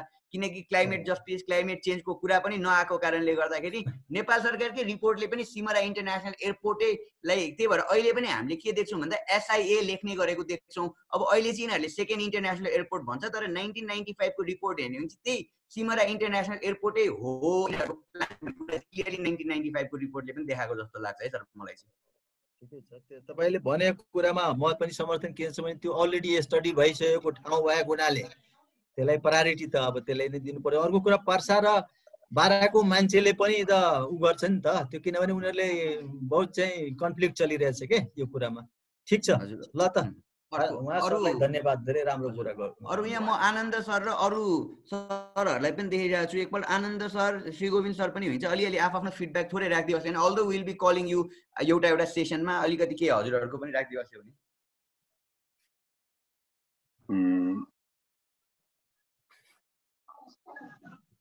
सञ्जयजीले मलाई भन्नुभएको हो। हजुर हजुर आनन्द सर। धन्यवाद। होइन मैले पनि यो एउटा राम्रो सेसन सुन्न पाएँ। सञ्जयजीलाई अनि हाम्रा प्रस्तोता बारोम सरलाई धेरै धेरै धन्यवाद। बारोम सर र हाम्रो त दिनमा एकचोटि यो विषयमा छलफल भइरहेकै हुन्छ। त्यस कारणले मैले जति जानेको छु त्यति उहाँले जान्नुभयो। त्योभन्दा पनि बढी जान्नुभएको छ उहाँले त्यसले गर्दाखेरि मैले त्यसमा मैले धेरै उ गइनँ धेरै त्यो प्रस्तुतिमा गइनँ त्यही पनि मैले त्यसलाई कम्प्रिहेन्सिभली भन्नुपर्दाखेरि बाबुराम सरले भोलिन्टरी हिसाबबाट जुन अध्ययन गर्नुभएको छ होइन? मुख्य गरेर चाहिँ यो इकोसिस्टम बेसमा बसेर गर्नुभएको छ र त्यसमा पनि यो कम्पेरेटिभ एडभान्टेज र डिसएडभान्टेज सहित होइन? यो सोसियल इकोनोमिकल र इन्भाइरोमेन्टल यसमा चाहिँ कम्पेरिटिभ एडभान्टेज र डिसएडभान्टेजको कुराहरू राखेर उहाँले प्रस्तुत गर्नुभएको छ। वास्तवमा त्यो प्राविधिक हिसाबबाट धेरै सशक्त छ। क्वेसन यहाँनिर अब यो प्राविधिक हिसाबबाट सशक्त भएको कुरालाई तपाईँ हामीले सबैले मनन गरिरहेको छौँ। क्वेसन यहाँ के हो भन्दाखेरि सरकारको नीति नियति र यो प्रक्रिया यी सबै कुराहरूमा ऊ त्रुटि हुँदा हुँदै पनि एककोरो त्यो घन हानेको हानै छ। र यसको मूल कारणहरू चाहिँ के छ भन्दाखेरि यो विकास विरोधीको नाममा जो हामी वातावरणमा लागिरहेका साथीभाइहरू छौँ उहाँहरूलाई चाहिँ यो त्यसको विज्ञान त्यसको ज्ञान त्यसको त्यसमा रहने कानुनी कुरा त्यसका प्रक्रिया कुराहरूलाई इग्नोर गर्न खोजिएको छ। केमा भन्दाखेरि जनताहरूलाई फ्रन्ट लाइनमा राखेर। अब मैले यो भन्न खोजेको कुरा के भन्दाखेरि हामी दुई वर्षदेखि यसमा लडिरहेका छौँ र कानुनसम्म पुग्न बाध्य बनाए यिनीहरूले धेरै कारणबाट हामीलाई कानुनसम्म बाध्य बनायो र कानुनमा हामी त्यहाँनिर चाहिँ अब अहिले स्टे अर्डरको अवस्थामा पनि पुगिसक्दाखेरि पनि होइन उनीहरूले त्यो जित छोडेको छैन। र मेरो अहिले क्वेसन चाहिँ बाबुराम सरले जुन पहल गरिरहनु भएको छ त्यो पहललाई मैले सपोर्ट गर्दै त्यो पहल के पहल भन्दाखेरि हामी केन्द्रीय स्तरमा यो विभिन्न किसिमका छलफल गरिरहेको छौँ र यो चिज त्यो स्थानीय स्तरमा हामीले कसरी बुझाउन सक्ने हो? यसले चाहिँ डेभलपमेन्ट होइन डिस्ट्रक्सन दिन्छ। यसले चाहिँ तपाईँको चाहिँ एउटा सस्टेनेबल र एउटा इकोनोमिकल्ली फाइदाको कुरो होइन। यसले कालान्तरमा गएर हामीलाई चाहिँ दुःख दिन्छ भन्ने कुराको आवासहरू चाहिँ त्यो त्यो पहलहरू हामीले गर्न नसकिरहेको अवस्थामा छ। तत्पश्चात पनि म फेरि बाबुरामजीलाई धन्यवाद दिन चाहन्छु किनभने उहाँले होइन एक दुईवटा त म पनि सँगसँगै लाएर लेख्यौँ र अहिले पनि उहाँले के गर्दै हुनुहुन्छ भन्दाखेरि स्थानीय पत्रिकाहरूमा पनि यो कुराहरूलाई यो अहिले जति प्रस्तुति गर्नुभएको छ त्यो कुराहरूलाई उहाँ प्रस्तुत गरिनु भएको छ। त्यस कारणले तपाईँ हामी जस्तो दिग्गज व्यक्तित्वहरूले प्रतीकमा निस्किया छ। प्रतीकमा पनि निस्किरहेको छ होइन? उहाँले गरिरहनु भएको छ। अब यो यो कुरा अब मैले एउटा चाहिँ उहाँको प्रस्तुतिलाई अलिकति क्रिटिकल्ली कुराहरू राख्दै होइन? अब यसमा हामीले जाने बाटो कता हो त? अदालत कानुनको कुरा पनि ऊ सुन्दैन जान्दैन। कानुनै जान्दैन भन्न थालिसकेँ मैले होइन? सरकारले त्यो गरिरहेछ। कानुन पनि मान्दैन। किनभने अहिले स्टे अर्डर हुँदाहुँदै रुख काट्ने रुख गणना गर्ने कामहरू दिइरहेको छ। यस्तो अब भेडो हिसाबको चाहिँ सरकारलाई हामीले कसरी बुझाउने हो? भन्ने कुरा चाहिँ बहुत इम्पोर्टेन्ट इस्यु छ। किनभने अलिकति हामीले पब्लिकको इन्टरफेसलाई पब्लिकको चाहिँ सपोर्टलाई लिन सक्नुपर्ने अवस्थामा मात्रै यिनीहरू पछाडि हट्छन् भन्ने जस्तो मैले चाहिँ देख्छु। त्यसले गर्दाखेरि अलिकति हामी त्यताको लाइनमा पनि जानुपर्छ कि भन्ने मेरो चाहिँ खालि के भन्दाखेरि ओभरअल हो। अब खालि अब के भन्दाखेरि अगाडि बढाउनु पर्यो। युवाहरू युवा वकिल साहब युवाहरूलाई बढाउनु पर्ने भयो। अनि अब अब के छ भन्दाखेरि अब यहाँनिर मैले अहिले देखिरहेको छु यहाँ हामीभन्दा धेरै दिग्गज र धेरै क्रिटिकल्ली यसलाई एनालाइसिस गरेर यो आजको यो सेसनमा चाहिँ भाग लिनुभएका हाम्रो गोविन्द शाह सर हुनुहुन्छ। त्यस्तै गरेर मैले चाहिँ सन्तोष विक्रम शाह सरलाई पनि देखिरहेको छु होइन? र उहाँहरूको पनि यो राय लिएर अबको हाम्रो ओए फरवर्ड के हो त? होइन यो यो विषयमा किनभने यो यो जुन उहाँले प्रस्तुत गरेका कुरामा काहीँ पनि हामीले चाहिँ विवाद गर्नुपर्ने जरुरतै छैन क्या। अप्सनहरू जस्तो उहाँ म बसेर छलफल गरेछ त्यसमा अर्को तेस्रो अप्सन पनि छ। तर त्यस तेस्रो अप्सन हजुरको कस्तो छ भन्दाखेरि तेस्रो अप्सनलाई पनि हामीले चाहिँ उयो गर्नुपर्छ। तर कुरो के भन्दाखेरि उनीहरू तेस्रो अप्सन अथवा दोस्रो अप्सन अथवा अर्को विकल्प कुनैमा पनि उनीहरू मान्न तयार छैनन्। त्यसै कारणले हामीले मेरो आफ्नो चाहिँ एकदम व्यक्तिगत राय चाहिँ के भन्दाखेरि अलिकति हामी अफेन्सिभ भएर अगाडि आउनुपर्ने अवस्था छ। यसलाई अब कस्तो अभियानको रूपमा अगाडि बढाउनु पर्ने त्यो कुराहरू गरौँ होइन? मैले धेरै टेक्निकल कुराहरूमा गइनँ अलिकति अब हामीले गर्नुपर्ने पहल कदमीहरू भोलिका पहल पहल कदमी कति हुन्छन् भन्ने कुराहरू हो। जस्तो त्यसका लागि दुई तिनवटा इस्युहरू बहुत महत्त्वपूर्ण छन्। अप्सनको कुरामा अघि सरले चाहिँ कुराहरू राख्नु त्यो सरलाई बेस्ट हो। त्यो सुरुमा हामीले त्यो कुराहरू राख्दै गयौँ। सरलाई नै बेस्ट मान्यौँ होइन?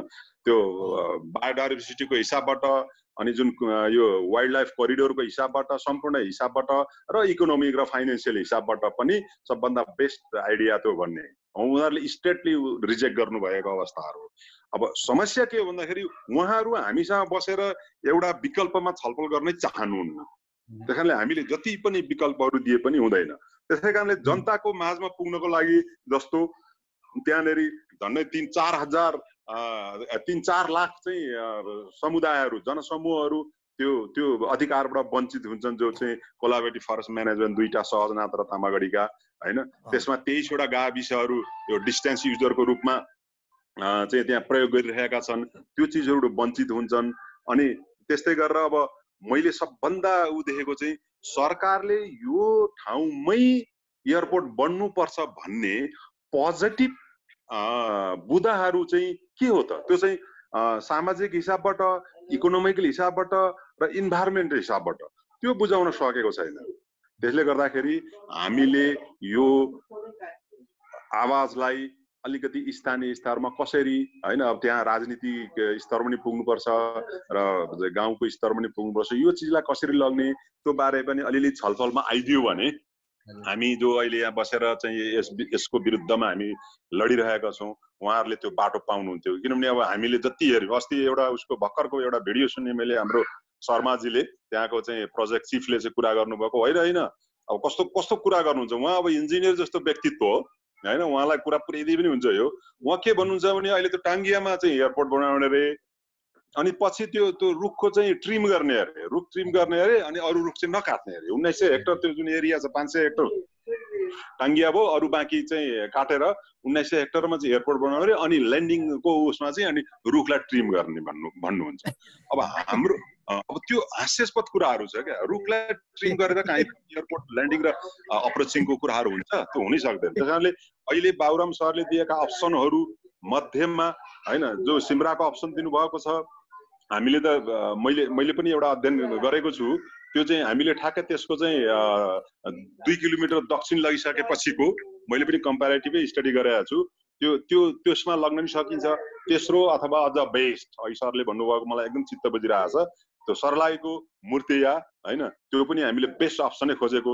त्यसमा त हामीले एनालाइसिस गरेर केसम्म भनिसकेका छौँ भन्दाखेरि डिस्टेन्सको हिसाब जुन फास्ट ट्र्याकको उनीहरूले जोडिरहेका छन् त्यो फास्ट ट्र्याकलाई पनि हामीले त्यहाँ कति किलोमिटर मात्रै हामीलाई फरक पर्छ भन्दाखेरि त्यो दस किलोमिटरभन्दा बढी फरक पर्दैन। दस किलोमिटर त्यसै अहिले अहिलेको अहिलेको एलाइनमेन्टमा हेऱ्यो भने चौतिस किलोमिटर तर त्यसलाई थोरै डाइभर्ट त्यो बागमती के अरे त्यो अहिले फास्ट ट्र्याकको अलिकति माथिबाट गएर डाइभर्ट गऱ्यो भने दस किलोमिटरभन्दा बढी फरक पर्दैन। यस्ता अवस्थाहरू छन् मैले खालि एडिसनल मात्रै चाहिँ मैले इनपुटहरू दिएँ होइन बाँकी कुराहरू मेरो चाहिँ यो स्थानीय स्तरमा हामी कसरी यो यो चाहिँ हामी विकास विरोधी होइनौँ। होइन? हामी दिगो विकासका पक्षधरहरू हौँ र यसले तपाईँहरूलाई विकास दिँदैन तपाईँहरूलाई उठीवास लाउँछ भन्ने कुराहरूलाई कसरी त्यहाँ पुर्याउन सकिन्छ? त्यस विषयमा पनि हाम्रा अरू सहभागी साथीभाइहरू युवा साथीहरू पनि देखिरहेको छु मैले। उहाँहरूले चाहिँ छलफल गरिदिएर एउटा बाटो अलिकति वे फरवार्ड दिन सक्नु भने राम्रो हुन्छ जस्तो लाग्छ। समय दिनुभएकोमा सञ्जयजीलाई धन्यवाद।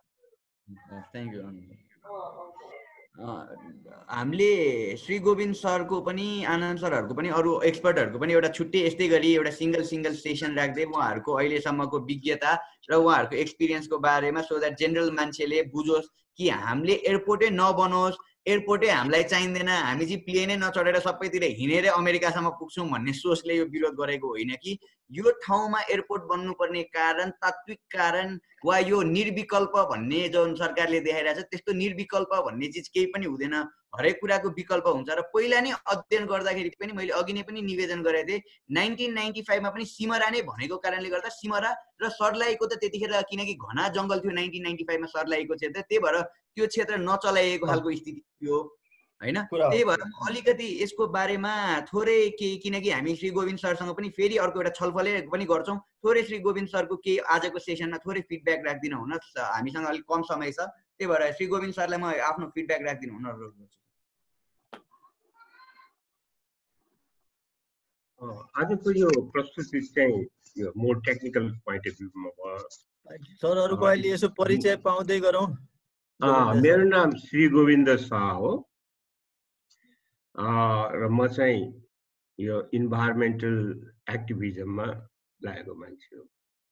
गोविन्द सरलाई मैले खोलेर मैले नमस्कार टक्राएँ हजुर। हजुरको मैले आर्टिकल नमस्ते होइन मैले एकदम सरी सञ्जय सर मलाई एकदमै उहाँसँग चाहिँ यसरी प्रत्यक्ष हेर्न मन लागेको थियो र मैले चाहिँ नमस्कार टक्राएँ हजुर। ल धन्यवाद सुरु गरौँ हजुर। ल। एउटा पक्ष त के भने सबभन्दा इम्पोर्टेन्ट चाहिँ यो एयरपोर्टको प्लानिङमै मिस्टेक छ। सबभन्दा मुख्य चाहिँ एकजना साथीले त्यहाँ चाहिँ यो मानिसहरूमा यसको उपदेयता यसको बेनिफिट्स र यसबाट हुने लसहरूको बारे चाहिँ हामीले जानकारी गराउनु अति आवश्यक छ। यो डिफ्रेन्ट मिडियामा हामीले जानुपर्छ।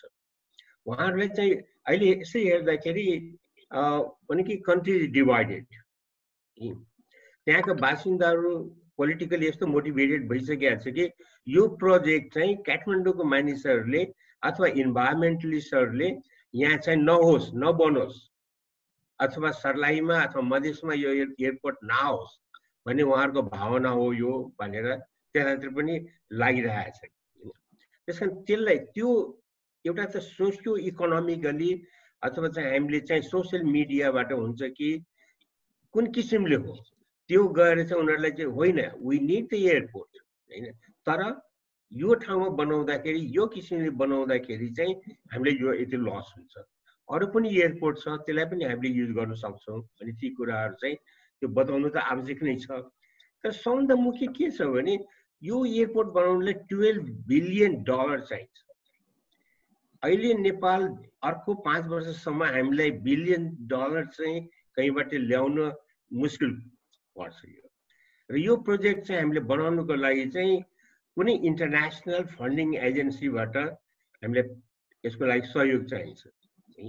चाहे त्यो आइएफसी होस् चाहे त्यो वर्ल्ड ब्याङ्क होस् अथवा अरू कुनै उसबाट युरोपियन कम्युनिटीबाट आयो भने तर ती सबै गर्दाखेरि के हुन्छ भने उनीहरूले फेरि इआई गर्छ हेर्नुहोस् नेपाल सरकारले गरेको इआइए उनीहरूले मान्दैन? उनीहरूले फेरि इआइए गर्दाखेरि इन्टरनेसनल मापदण्ड अनुसार चाहिँ यो अहिले गरेको इआइए चाहिँ त्यो भ्यालिड हुँदैन थियो। उनीहरू अल्टरनेटिभ एनालिसिसमा जान्छ। अल्टरनेट एनालिसिस भनेपछि यो ठाउँ हो कि अरू पनि ठाउँ छ कि अथवा टेक्नोलोजीमा गर्नु पर्यो होइन? के यो यो एयरपोर्ट चाहिन्छ कि चाहिँदैन भन्ने कुरो पनि होइन? अरू एयरपोर्टलाई हामीले किन युज नगर्ने? के को लागि एयरपोर्ट चाहिन्छ? इन्टरनेसनल हब भन्ने कुरो त त्यो त नाइन्टिन नाइन्टीको कुरो हो। अहिलेको ट्वेन्टी फर्स्ट सेन्चुरीमा आएर चाहिँ त्यो इनभ्यालिड भइसकेको छ। होइन पहिला त के हुन्थ्यो भने एउटा लङ डिस्टेन्समा जानुको लागि चाहिँ ठुल्ठुलो प्लेनहरू राख्ने र त्यसमा बिचमा हल्ट गर्ने र त्यसलाई हबको रूपमा डेभलप गर्ने। अब त्यो गइसकेको छ। अहिलेको जमानामा त सर्टर माने चाहिँ लङ्गर डिस्टेन्स हाई स्पिड यो प्लेनहरू र सानो प्लेनबाट चाहिँ यसरी युज गर्ने भन्ने कुराहरू छ। भन्दाखेरि त यो सबै गर्दाखेरि किन चाहिँ यो गर्दाखेरि त यो एयरपोर्ट त्यहाँ बन्ने नबन्ने नै शङ्कास्पदको कुरो। होइन इन्भेस्ट त्यसै गर्दैनन् क्या कुनै पनि कन्ट्रीहरू। र अर्को कुरो चाहिँ के छ भने नेपाल चाहिँ अर्को तिन चार वर्षसम्म एउटा इकोनोमिक क्राइसिसमा गइरहेछ। र यो इकोनोमिक क्राइसिसको लागि चाहिँ त्यो त्यतातिर चाहिँ गभर्मेन्टले काम गर्नुपर्ने हुन जान्छ। जस्तै चाहिँ पपुलेसनको भयो डेभलपमेन्ट एरिया भयो एग्रिकल्चर डेभलपमेन्ट इरिगेसन होइन हेल्थ एन्ड यिनीहरू भयो एस्पेक्ट्सहरूमा त्यस कारण यो प्रोजेक्ट चाहिँ इम्प्लिमेन्ट हुने सम्भावना चाहिँ निकै कम छ। एउटा मात्रै सम्भावना के हो भने यिनीहरूले पोलिटिकली स्ट्रङ गरेर आफ्नो पार्टीबाट गरेर रुख काट्ने काम चाहिँ यिनीहरूले सक्छ। र त्यो रुख काट्न नदिने चाहिँ हामीले प्रक्रिया अप्नाउनु पर्छ। होइन? यसको लागि चाहिँ हामीले चाहिँ जे गर्नुपर्ने हो इन्भाइरोमेन्टली सोसियली अथवा हामीले विभिन्न संस्थाहरूमा गएर यहाँ डब्लुडब्लुएफ छ यहाँ होइन आइएसएन कन्जर्भेसन एरिया यिनीहरू छन् ती सबैले हामीले वर्ल्ड ब्याङ्क छ यिनीहरू सबैले हामीले गर्नुपर्छ होइन? भन्दाखेरि सबभन्दा के हो भने यो एयरपोर्ट त बन्नेवाला छैन अर्को दस वर्षसम्म हेर्नुहोस् there is no money no fund कहीँबाट पैसा आउने पनि छैन। होइन। यो हाउमा मात्रै हो यो क्रिएट गरेको? अहिले अहिलेको अहिले चाहिँ नाइन्टी फाइभको स्टडी हो यो। त्यति बेलाको स्ट्राटेजी बेग्लै थियो। अहिले आएर चाहिँ यो भन्नु यो पच्चिस वर्षमा इट्स भेरी डिफ्रेन्ट। वर्ल्ड कहाँ न कहाँबाट गइसकेको छ। धेरै यस्तो इन्टरनेसनल एयरपोर्टहरू बनिएको छ like in Sri Lanka. It's non functional त्यत्रो पैसा चाहिँ उनीहरूले लगानी गरे चाइनाबाट लिए अरूबाट लिए अहिले त्यो चाहिँ युज भइरहेको छ। भन्दा यसको माने युजफुलनेस के हो? जस्तै भनौँ कि अहिले गभर्मेन्टले चाहिँ स्विजरल्यान्डको कुन कम्पनीलाई चाहिँ ल यसमा बनाउने भनेर खोजिरहेछ। तर दे आर नट फुल भन्दाखेरि त्यो त्यो उसमा चाहिँ छैन। तर के भने यसमा लसेजहरू चाहिँ इकोनोमिक लस भयो। अब यो इकोसिस्टम लसेस त भेरी हाई हो। र अर्को चाहिँ के भने मधेसमा मधेसको एरियाहरूमा अथवा तराईको इकोसिस्टममा चाहिँ यो मात्रै एउटा फरेस्ट हो जो चाहिँ अहिलेसम्म इन्ट्याक्ट छ। होइन? र त्यो इन्ट्याक्ट फरेस्ट चाहिँ लस हुनु भनेको धेरै ठुलो हो।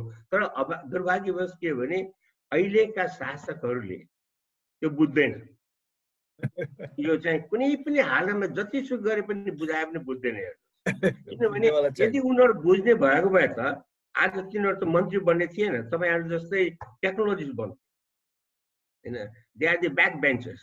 त्यो ब्याक बेन्चर्सलाई तपाईँ फ्रन्ट बेन्चर्सले कति बुझाउनुहुन्छ? इज नट पोसिबल त्यस कारण Oh, अर्को. उपाय चाहिँ अप्नाउनु पर्छ। होइन? विभिन्न किसिमको उपायहरू गरेर यसलाई it has to be stop मुख्य हाम्रो उद्देश्य चाहिँ के हुनुपर्छ भने रुख काट्न नदिन। अस्ति पनि यो के अरे यो फरेस्ट मन्त्रीजीसँग मेरो हाम्रो चाहिँ एउटा प्रो- प्रोग्राममा छलफल थियो होइन? यसलाई अहिले यसलाई चाहिँ रोक्नुपर्छ। र उनीहरू पनि अहिले चाहिरहेको छैन होइन? यो त खालि के भने त्यो टुरिज्म टुरिज्म मन्त्रीले चाहिँ आफ्नो बेनिफिट्सको लागि र आइएम इन द. पोजिसन र म चाहिँ कन्टिन्यू गर्छु पोजिसन भनेर उसले एउटा प्रचार गरे मात्रै हो। हुन्छ डक्टर साहब हामी पछि किनकि विल बी ह्याभिङ फुल पछि यसमा कुरा गर्ला होइन? विल डिस्कस तर अहिलेको लागि चाहिँ म के भन्छु भने कुनै पनि हालतमा त्यो ठाउँमा रुख काट्न नदिने। हजुर। होइन कुनै पनि उसमा चाहिँ। त्यो प्रक्रियामा चाहिँ हामी जानुपर्छ। र यो पछिको कुराहरू त यसमा धेरै कुराहरू छ कि त्यसै प्रोजेक्ट आउने होइन हेर्नुहोस् कि हामीले धेरै ठाउँमा हेरिसक्यो अरू अरू कन्ट्रीहरूमा पनि। इट्स ए लङ प्रोसेस होइन? र पैसा नेपालसँग त छैन नि टेन इलेभेन बिलियन डलर खर्च गर्ने भने है अहिले कोभिडको लागि चाहिँ हामीले मिलियन डलर पनि पाउन मुस्किल परिरहेको बेलामा यो त इम्पोसिबल कुराहरू। तर यहाँले जुन भन्न बाबु के सरी उहाँले चाहिँ जुन गरे that is a good analysis होइन? धेरै मान्छेले बुझ्दैन किनभने यो ट्रु टेक्निकल म्याटर्सहरू भयो। र मलाई लाग्दैन कि यो सायद सायद हाम्रो सुप्रिम कोर्टका जजहरूले अथवा वकिलहरूले पनि बुझ्ला। यो बुझ्ने कुरो होइन बुझ्दैन। तर उनीहरूलाई अलिकता सिम्पल ल्याङ्ग्वेजमा चाहिँ यो कुराहरूलाई लानुपर्छ कि यसले गर्दाखेरि हाम्रो नेचरमा मात्रै होइन द होल पपुलेसनलाई इफेक्ट गर्छ। यदि इरिगेसन जुन त्यहाँ चाहिँ छ सातवटा इरिगेसन सिस्टम छ त्यो मात्रै बन्द भइदियो भने तललाई के इफेक्ट पर्छ? भने हामीले इकोनोमिकली अलिकति एनालिसिस गरेर त्यो ठाउँहरूमा भन्नु सक्नुपर्छ। र हामीले सबभन्दा मुख्य चाहिँ के हो भने यो दुई तिन जिल्ला होइन यो प्रोभिन्स नम्बर दुईमा कुनै पनि अरू चाहिँ प्रोजेक्टहरू नआएको हुनाले उनीहरूले यसलाई चाहिँ एउटा इज्जतको रूपमा लिइरहेको छ हामीलाई यो एयरपोर्ट चाहिन्छ चाहिन्छ त्यो गरेर सही कुरा। होइन इज्जतको रूपमा। यदि त्यो ठाउँमा अरू डेभलपमेन्ट प्रोजेक्ट भइदियो भए यसलाई कसैले वास्ता गर्ने थिएन र कुरा सबैले के देखिरहेको छ भने इट इज ए एनदर यो प्रोजेक्ट भने के भने अर्को मेलाम्ची हो पच्चिस वर्ष त चलिहाल्छ। कम्प्लिट हुने होइन। त्यो पच्चिस वर्षमा त हामीले त घुस खानु पाउँछौँ अथवा पैसा पाउँछौँ भने त्यो एउटा मे मेन्टालिटी नै चेन्ज छ क्या। त्यस कारण म चाहिँ सञ्जयजी यही भन्छु कि अहिलेको लागि कुनै पनि हालतमा गएर it has to be stop र हामीले के भन्नुपर्छ भने अब यसलाई रिप्लान गर्नु पर्यो। नाइन्टिन नाइन्टी फाइभ ट्वेन्टी सेन्चुरीको प्लानिङ ट्वेन्टी फर्स्ट सेन्चुरीको यो थर्ड डिकेडमा काम लाग्दैन त्यो कन्भिन्स गरेर we have to go thank you thank you thank you very much Sanjay ji मैले अलिकति सर सरसँग मतलब मात्रै के अलिक सेयर मात्र गरौँ है दुई मिनट है। हुन्छ यहाँ अरू पनि सञ्जयजी। म दुई मिनट एक मिनट है एक मिनट। उहाँ सरले जुन भन्नुभएको कुरामा मेरो हन्ड्रेड पर्सेन्ट समर्थन वास्तवमा किन छ भने अस्ति डाक्टर शङ्कर दयाल शर्मा र रोकया सर एकजना हुनुहुन्छ नि एनालिस्टहरू उहाँले के भन्नुभयो भने अहिले यो कोभिडले गर्दा यो यो एरोप्लेन बनाउने एयरपोर्ट बनाउने पोखरा छँदैछ हावा छँदैछ यो बनाउनै हुँदैन यसमा कामै छैन यसमा पैसा खर्च गर्नै हुँदैन। भनेर उहाँहरू भनिराख्नु भएको छ। अहिले भर्खरै भन्नुभयो कि एक महिना भयो क्या त्यसपछि पनि बजेट राखिदियो। एक करोड रुपियाँ अहिले गएछ अरे मैले बारा जिल्लाको वन कार्यालयमा होइन? अब पैसा गएपछि उनीहरू त काम गर्नु पर्यो हो कि होइन? जबकि यत्र विद्वानहरूले भनिरहेछ अब टुरिस्ट आउँदैन चार पाँच वर्ष यो चाहिँ बनाएर केही फाइदा हुनेवाला छैन। तपाईँले जहिले पनि माटल्ला एयरपोर्टको कुरा गर्नुहुन्छ नि त्योभन्दा पनि वर्स्ट हुन्छ ल। मैले त्यति हो। गोविन्द सरलाई उहाँको नलेजलाई मैले धेरै एप्रिसिएट गरेँ मैले परिचय थिएन। अब एकजनासँग यसमा तपाईँलाई धन्यवाद दिन दिन्छु भने उहाँसँग परिचय हुने भयो। उहाँ धेरै राम्रोसँग अध्ययन छ उहाँको।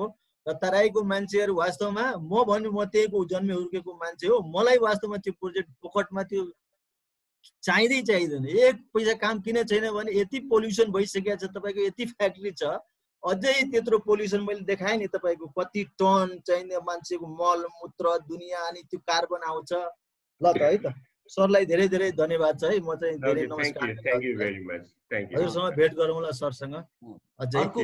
म त लागिरहेको छु यसमा के सर? एकदम आफ्नो पार्टीका मान्छेहरूको उपेन्द्र यादवसम्म मैले कुरा गरेको छु सर। यो- यसमा एउटा एनालिसिस गरेका छ EIA रिपोर्टको that is the first time in Nepal हो। कुनै एप्रुभ प्रोजेक्टको एप्रुभ इआइएको एनालिसिस गरेको र इन्डियामा पनि यो एक दुईवटा प्रोजेक्ट मात्रै गरिरहेको छ। यो हेभ ए लुक त्यो हेर्नुभयो भने यो।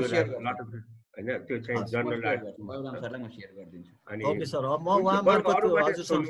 नेक्स्ट टाइम त आउट बी देयर हजुर यस अनि यस हामी अरू विषयमा प्लानिङको फेजमा कसरी गर्ने के गर्ने will. Discuss more on that okay एकजना हजुर अर्को साथीले पनि केही राख्न खोजिरहनु भएको छ। मैले रेज ह्यान्ड ह्यान्ड रेज गरे हो सञ्जयजी हजुर सर मेरो मेरो खालि एउटा जानकारी तपाईँलाई दिउँ भनेर करिब दुई सप्ताह अगाडि नेपाल यो तराई इन्जिनियर समाजले यही निजगढ एयरपोर्ट अ, कै अ, सन्दर्भमा वेबिनार आयोजन मैले। हजुरलाई शुभ नाम हजुरको के अरे सरी है मैले परिचय दिइन हजुर। अघि पनि म सत्यनारायण शाह पेसाले म मेकानिकल इन्जिनियर र नेपाल इन्जिनियरिङ परिषदको निवर्तमान अध्यक्ष। सत्यनारायण शाह। हजुर म अहिले अहिले वर्ल्ड ब्याङ्कसँग आबद्ध छु। यतिले पुग्ला नि।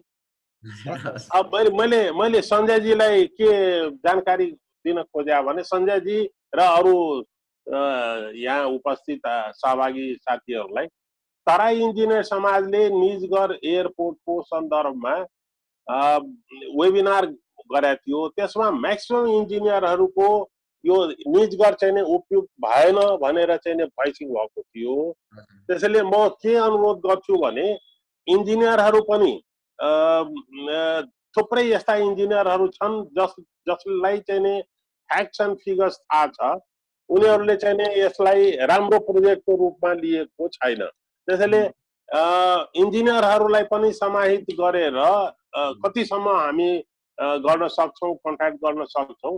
गरेर अनि उहाँहरूलाई पनि सामेल गराएर चाहिँ नि एउटा भोइस स्ट्रङ भोइस चाहिँ नि रेज गर्न सकिन्छ कि भनेर चाहिँ नि मैले त्यस। सल्लाह दिन खोजे मात्रै हो धन्यवाद। धन्यवाद सर। सरको एकपल्ट कन्ट्याक्ट नम्बर कि केही उपलब्ध गराइदियोस् भने आभारी हुन्थ्यो सर। उसमा म म च्या च्याट बक्समा लेखिदिउँ कि भनिदिउँ? च्याट बक्समा ए ल ल ल मैले इमेल त लेखिदिएको छु अब हामीसँग लगभग छ मिनट बाँकी छ अघि नै पुरुषोत्तमजीले के राख्न खोजिरहनु भएको थियो एकदमै सटिकमा किनकि हामीले एकदमै लामो सेसन लिइसकेको छौँ एकदमै सटिकमा आफ्नो भनाइ र कसैलाई केही प्रश्न भएमा एकदमै सटिकमा राखिदिनु हुन अनुरोध गर्दछु हजुर हेलो नमस्ते सुनिराख्नु भएको छ सबैलाई मेरो नमस्कार। म पनि बारा जिल्लाबाटै र बाबुराम यादव चाहिँ मेरो हजुरबुवा हुनुहुन्छ होइन? मैले मैले एउटा बेस्ट एक्जाम्पल दिन यो यो एरियामा डिस्ट्रक्सनको एउटा बेस्ट एक्जाम्पल कहाँ छ भनेदेखि पिलुवा पिलुवाबाट हजुरले पूर्व जाने जुन राजमार्ग छ नि त्यो एरियामा हजुरको मिनिमम एउटा एक्सिडेन्ट भइरहेको हुन्छ मिनिमम त्यहाँ पिलुवामा स्ट्यान्ड बाई हुन्छ एम्बुलेन्स हजुरको। मिनिमम म्याक्सिमम त कति हो कति हो मिनिमम एउटा एक्सिडेन्ट भइरहेको हुन्छ। त्यो एउटा बेस्ट एक्जाम्पल हो। किनभने निजगढ एयरपोर्टको ठ्याक्क माथि हजुरको त्यो बाटो छ त्यो बाटोमा एनिमलहरू क्रस क्रसिङ गर्दाखेरि कि एनिमल डेथ हुन्छ कि मान्छेको डेथ हुन्छ। त्यहाँ कन्ट्रोल गर्न त्यो जति जे गरे नि त्यहाँ कन्ट्रोल गर्ने अवस्थै छैन। त्यो- त्यसको लागि मैले एउटा भने किनभने त्यसको डाटाहरू डिस्ट्रिक्ट पुलिस अफिसमा नि भेटिन्छ बाह्रको त्यो एउटा मैले अनुरोध गरेर अर्को चाहिँ के भने बाह्रमा कहिले पनि त्यो आउँदैन के? बाढी कहिले आउँदैन? त्यसको रिजन हो निजगढ निजगढको त्यो जङ्गल के? कहिले आउँदैन? किनभने यस्तो एक्ज्याक्ट तरिकाले त्यसले मेन्टेन गरेर राखेको छ नि खोलाहरूलाई। त्यसले कहिले त्यो गर्दैन त्यो एउटा मैले हजुरहरूलाई एउटा चाहिँ सजेस्ट गर्न खोजेँ त्यति मात्र। हजुर थ्याङ्क यू अरू कसैको प्रश्न केही छ भने अब हामीसँग चार मिनट मात्रै बाँकी छ त्यसपछि अब यो अफ पनि हुन्छ र कार्यक्रम अन्त्य पनि हुन्छ योसँगै लगभग हाम्रो धेरैजना साथीहरू हुन्थ्यो र हामी चार बजीदेखि सुरु गरेर करिब दुई घन्टाको यो सेसन हामी फेसबुकमा लाइभ पनि गरिरहेको छौँ र धेरैजना साथीहरू पनि हुनुहुन्छ। अब यो हामी अन्तिम अन्तिममा आइसकेको छौँ। अब बाबुराम सरबाट अन्तिममा केही रह्यो भने सरलाई दुई मिनटको म समय दिन्छु सर। दुई मिनट म मेरो एउटा कुरा के रह्यो भने नि यो सरले चाहिँ आज चाहिँ अझै उजागर गरिदिनु भयो होइन त्यो बडा खुसी लाग्यो मलाई। अर्को कुरा के भने नि इआइए रिपोर्टमा घोरल चाहिँ लेखिएको छ यो मैले भन्न बिर्सेँ यो मेन पोइन्ट हो क्या। घोरल चाहिँ तपाईँको बाह्र हजार तेह्र हजार फिटमा पाउने जनावर त्यहाँको इआइए रिपोर्टमा लेखेको छ कि निजगढमा पाइन्छ। त्यो चाहिँ मतलब कि वातावरण महाशाखाको महेश्वर ढकाल एकजना हाम्रो त्यत्रो आफूलाई वाइल्ड लाइफर भन्नुहुन्छ। सचिव पनि वाइल्ड लाइफर त होइन। उही सचिवले मन्त्री कहाँ पेस गरेको रहेछ हजुरको चाहिँ कि र युआई इआई रिपोर्ट। र युआइए रिपोर्टमा पनि के छ भने इलेक्ट्रिसिटीको बारेमा लेखेको छ। गौरीशङ्कर एरियाको नजिकमा भने जस्तो कुराहरू लेखेको छ। त्यसले गर्दा उहाँ सरले भन्नुभयो इआइए रिपोर्ट नगरिकन यो कसैले गर्दैन सही कुरा हो। होइन? त्यसैले चाहिँ इआइए नै एकदम उहाँ हाम्रो प्रो पब्लिकले चाहिँ इआइए रद्द छ यसमा कारवाही गर्नुपर्छ भनेर प्रो पब्लिक लडिरहेछ र अन्तिममा मैले सञ्जय सर र प्रो पब्लिकका हाम्रो चाहिने सर आज आउनु भएन जस्तो छ हाम्रो के अरे प्रकाश मणि शर्मा चाहिँ उहाँ यति लाग्नु भएको छ कि उहाँको त म चाहिँ अनुवाई भइसकेको छु। म त्यत्रो वातावरण वातावरणविद त म के छु यो सञ्जय भाइ र उहाँ हुनुहुँदो रहेछ कि? उहाँहरू यति अध्ययन गर्नुभएछ कि अब मभन्दा पनि बढी जानकार उहाँ हुनुहुन्छ। त्यसले गर्दा म चाहिने उहाँ सर हाम्रो भण्डारी सरले पनि चाहिने आज चाहिँ टाइम दिनुभयो होइन? त्यस त्यसले गर्दा उहाँहरूलाई चाहिँ म एकदम चाहिँ धन्यवाद दिँदै सञ्जय भाइलाई चाहिँ पनि धन्यवाद दिँदै मेरो चाहिँ नि त्यो एउटा अहिले लेख निस्केको छ त्यो चाहिँ तपाईँहरूलाई तपाईँलाई म दिन्छु सबैले सेयर गरिदिनु होला। धन्यवाद। ल मेरो तर्फबाट हामीले आज करिब दुई घन्टा यो विकल्पको बारेमा छलफल गऱ्यौँ र यो आजको हाम्रो कार्यक्रम जुन निजगढ बचाउनको लागि एउटा ग्रेटर अलायन्स हामीले तयार गरेको छौँ जसमा हामी अन्य साथीहरू पनि जो वातावरणको क्षेत्रमा लाग्नु भएको छ जो सुशासनको क्षेत्रमा राख्नु भएको छ। उहाँहरूलाई पनि जोइन गर्नको लागि आह्वान गर्छु। र अर्को कुरा के महत्त्वपूर्ण विषय छ भन्दाखेरि यदि हामी युवा पुस्ता र एउटा हाम्रो जेने हामीभन्दा अगाडिको सिनियर जेनेरेसन जसले आफ्नो जिन्दगीभर नै एउटा सुशासन इस्टाब्लिस हुनुपर्छ भनेकै कारणले गर्दा आज हामीले यो सङ्घीय लोकतान्त्रिक गणतन्त्र नेपाल देख्ने अवसर पनि मौका पाएका छौँ। र सायद यसलाई कन्टिन्यू गर्दाखेरि यदि इन्भाइरोमेन्टल रुल अफ ल हुँदैन भनेपछि त्यो बेसिकली रुल अफ ल पनि हुँदैन जस्तो लाग्छ। त्यही भएर म सम्पूर्ण साथीहरूलाई पनि यो ग्रेटर अलायन्समा जोइन गरेर सबैजनालाई आफ्नो आइडिया राखिदिनु हुन पनि अनुरोध गर्छु। र अर्को कुरा के भन्दाखेरि हामी यो सेसनमा पहिलो सेसनमा डक्टर केशव भट्टराईलाई हामीले निमन्त्रणा गरेको थियौँ र अघि नै डक्टर केशव भट्टराई यहाँ आउनु पनि भएको थियो र उहाँले यो एकदम राम्रो क्यालकुलेसन भयो भनेर हेरिराख्नु भएको थियो। त्यस्तै विभिन्न फिल्डका विभिन्न विज्ञज्यूहरू यहाँ आइराख्नु भएको छ तथा विभिन्न युवा साथीहरू जो यसमा यो कार्यक्रममा भाग लिनुभयो वा जसले यो पछि यो हाम्रो लाइभ रेकर्डिङहरू सुन्नुहुन्छ उहाँहरूप्रति पनि फेरि कृतज्ञता व्यक्त गर्दै आजको कार्यक्रम हामी यही अन्त्य गर्छौँ। अर्को कार्यक्रममा हामी फेरि पुनः अरू विज्ञहरूलाई लिएर यो जुन निजगढमा निर्विकल्प निजगढ भनेर जुन हामीलाई एउटा खुबसुरत धोका दिइराख्नु खोजिरहेको सरकारले त्यो कुरालाई फेरि हामी उजागर गरेर यो चाहिँ निजगढ एउटा राम्रो हाम्रो लागि एउटा आमूल परिवर्तन ल्याउने खालको चिज नभएर यो चाहिँ एउटा एकदमै ठुलो नाइटमेयर हुन जान्छ भन्ने कुराहरूलाई हामी सामान्य जनताहरूलाई सर्वसाधारणलाई बुझाउनको लागि यो कार्यक्रम गरिरहेका छौँ र अन्य दिनमा हामी फेरि यस्तै विज्ञहरूसँगलाई लिएर भेट गर्ने नै छौँ र आज बाबुराम सरले आफ्नो यत्रो अमूल्य समय यति समय दिएर हामीलाई यो बारे जानकारी गराउनुभयो। सत्यनारायण सर श्री गोविन्द सर त्यसपछि आएर हाम्रो आनन्द भण्डारी सर लगायत अन्य मैले चिनेको नचिनेको विज्ञहरू तथा धेरै युवा साथीहरूलाई पुनः धन्यवाद दिँदै आजको कार्यक्रम हामी यही अन्त्य गर्छौँ र अर्को पल्ट अर्को विज्ञसँग फेरि हामी भेटेर यस्तै छलफल गर्ने कुरा को बारेमा जानकारी गराउँछौँ। हस् धन्यवाद।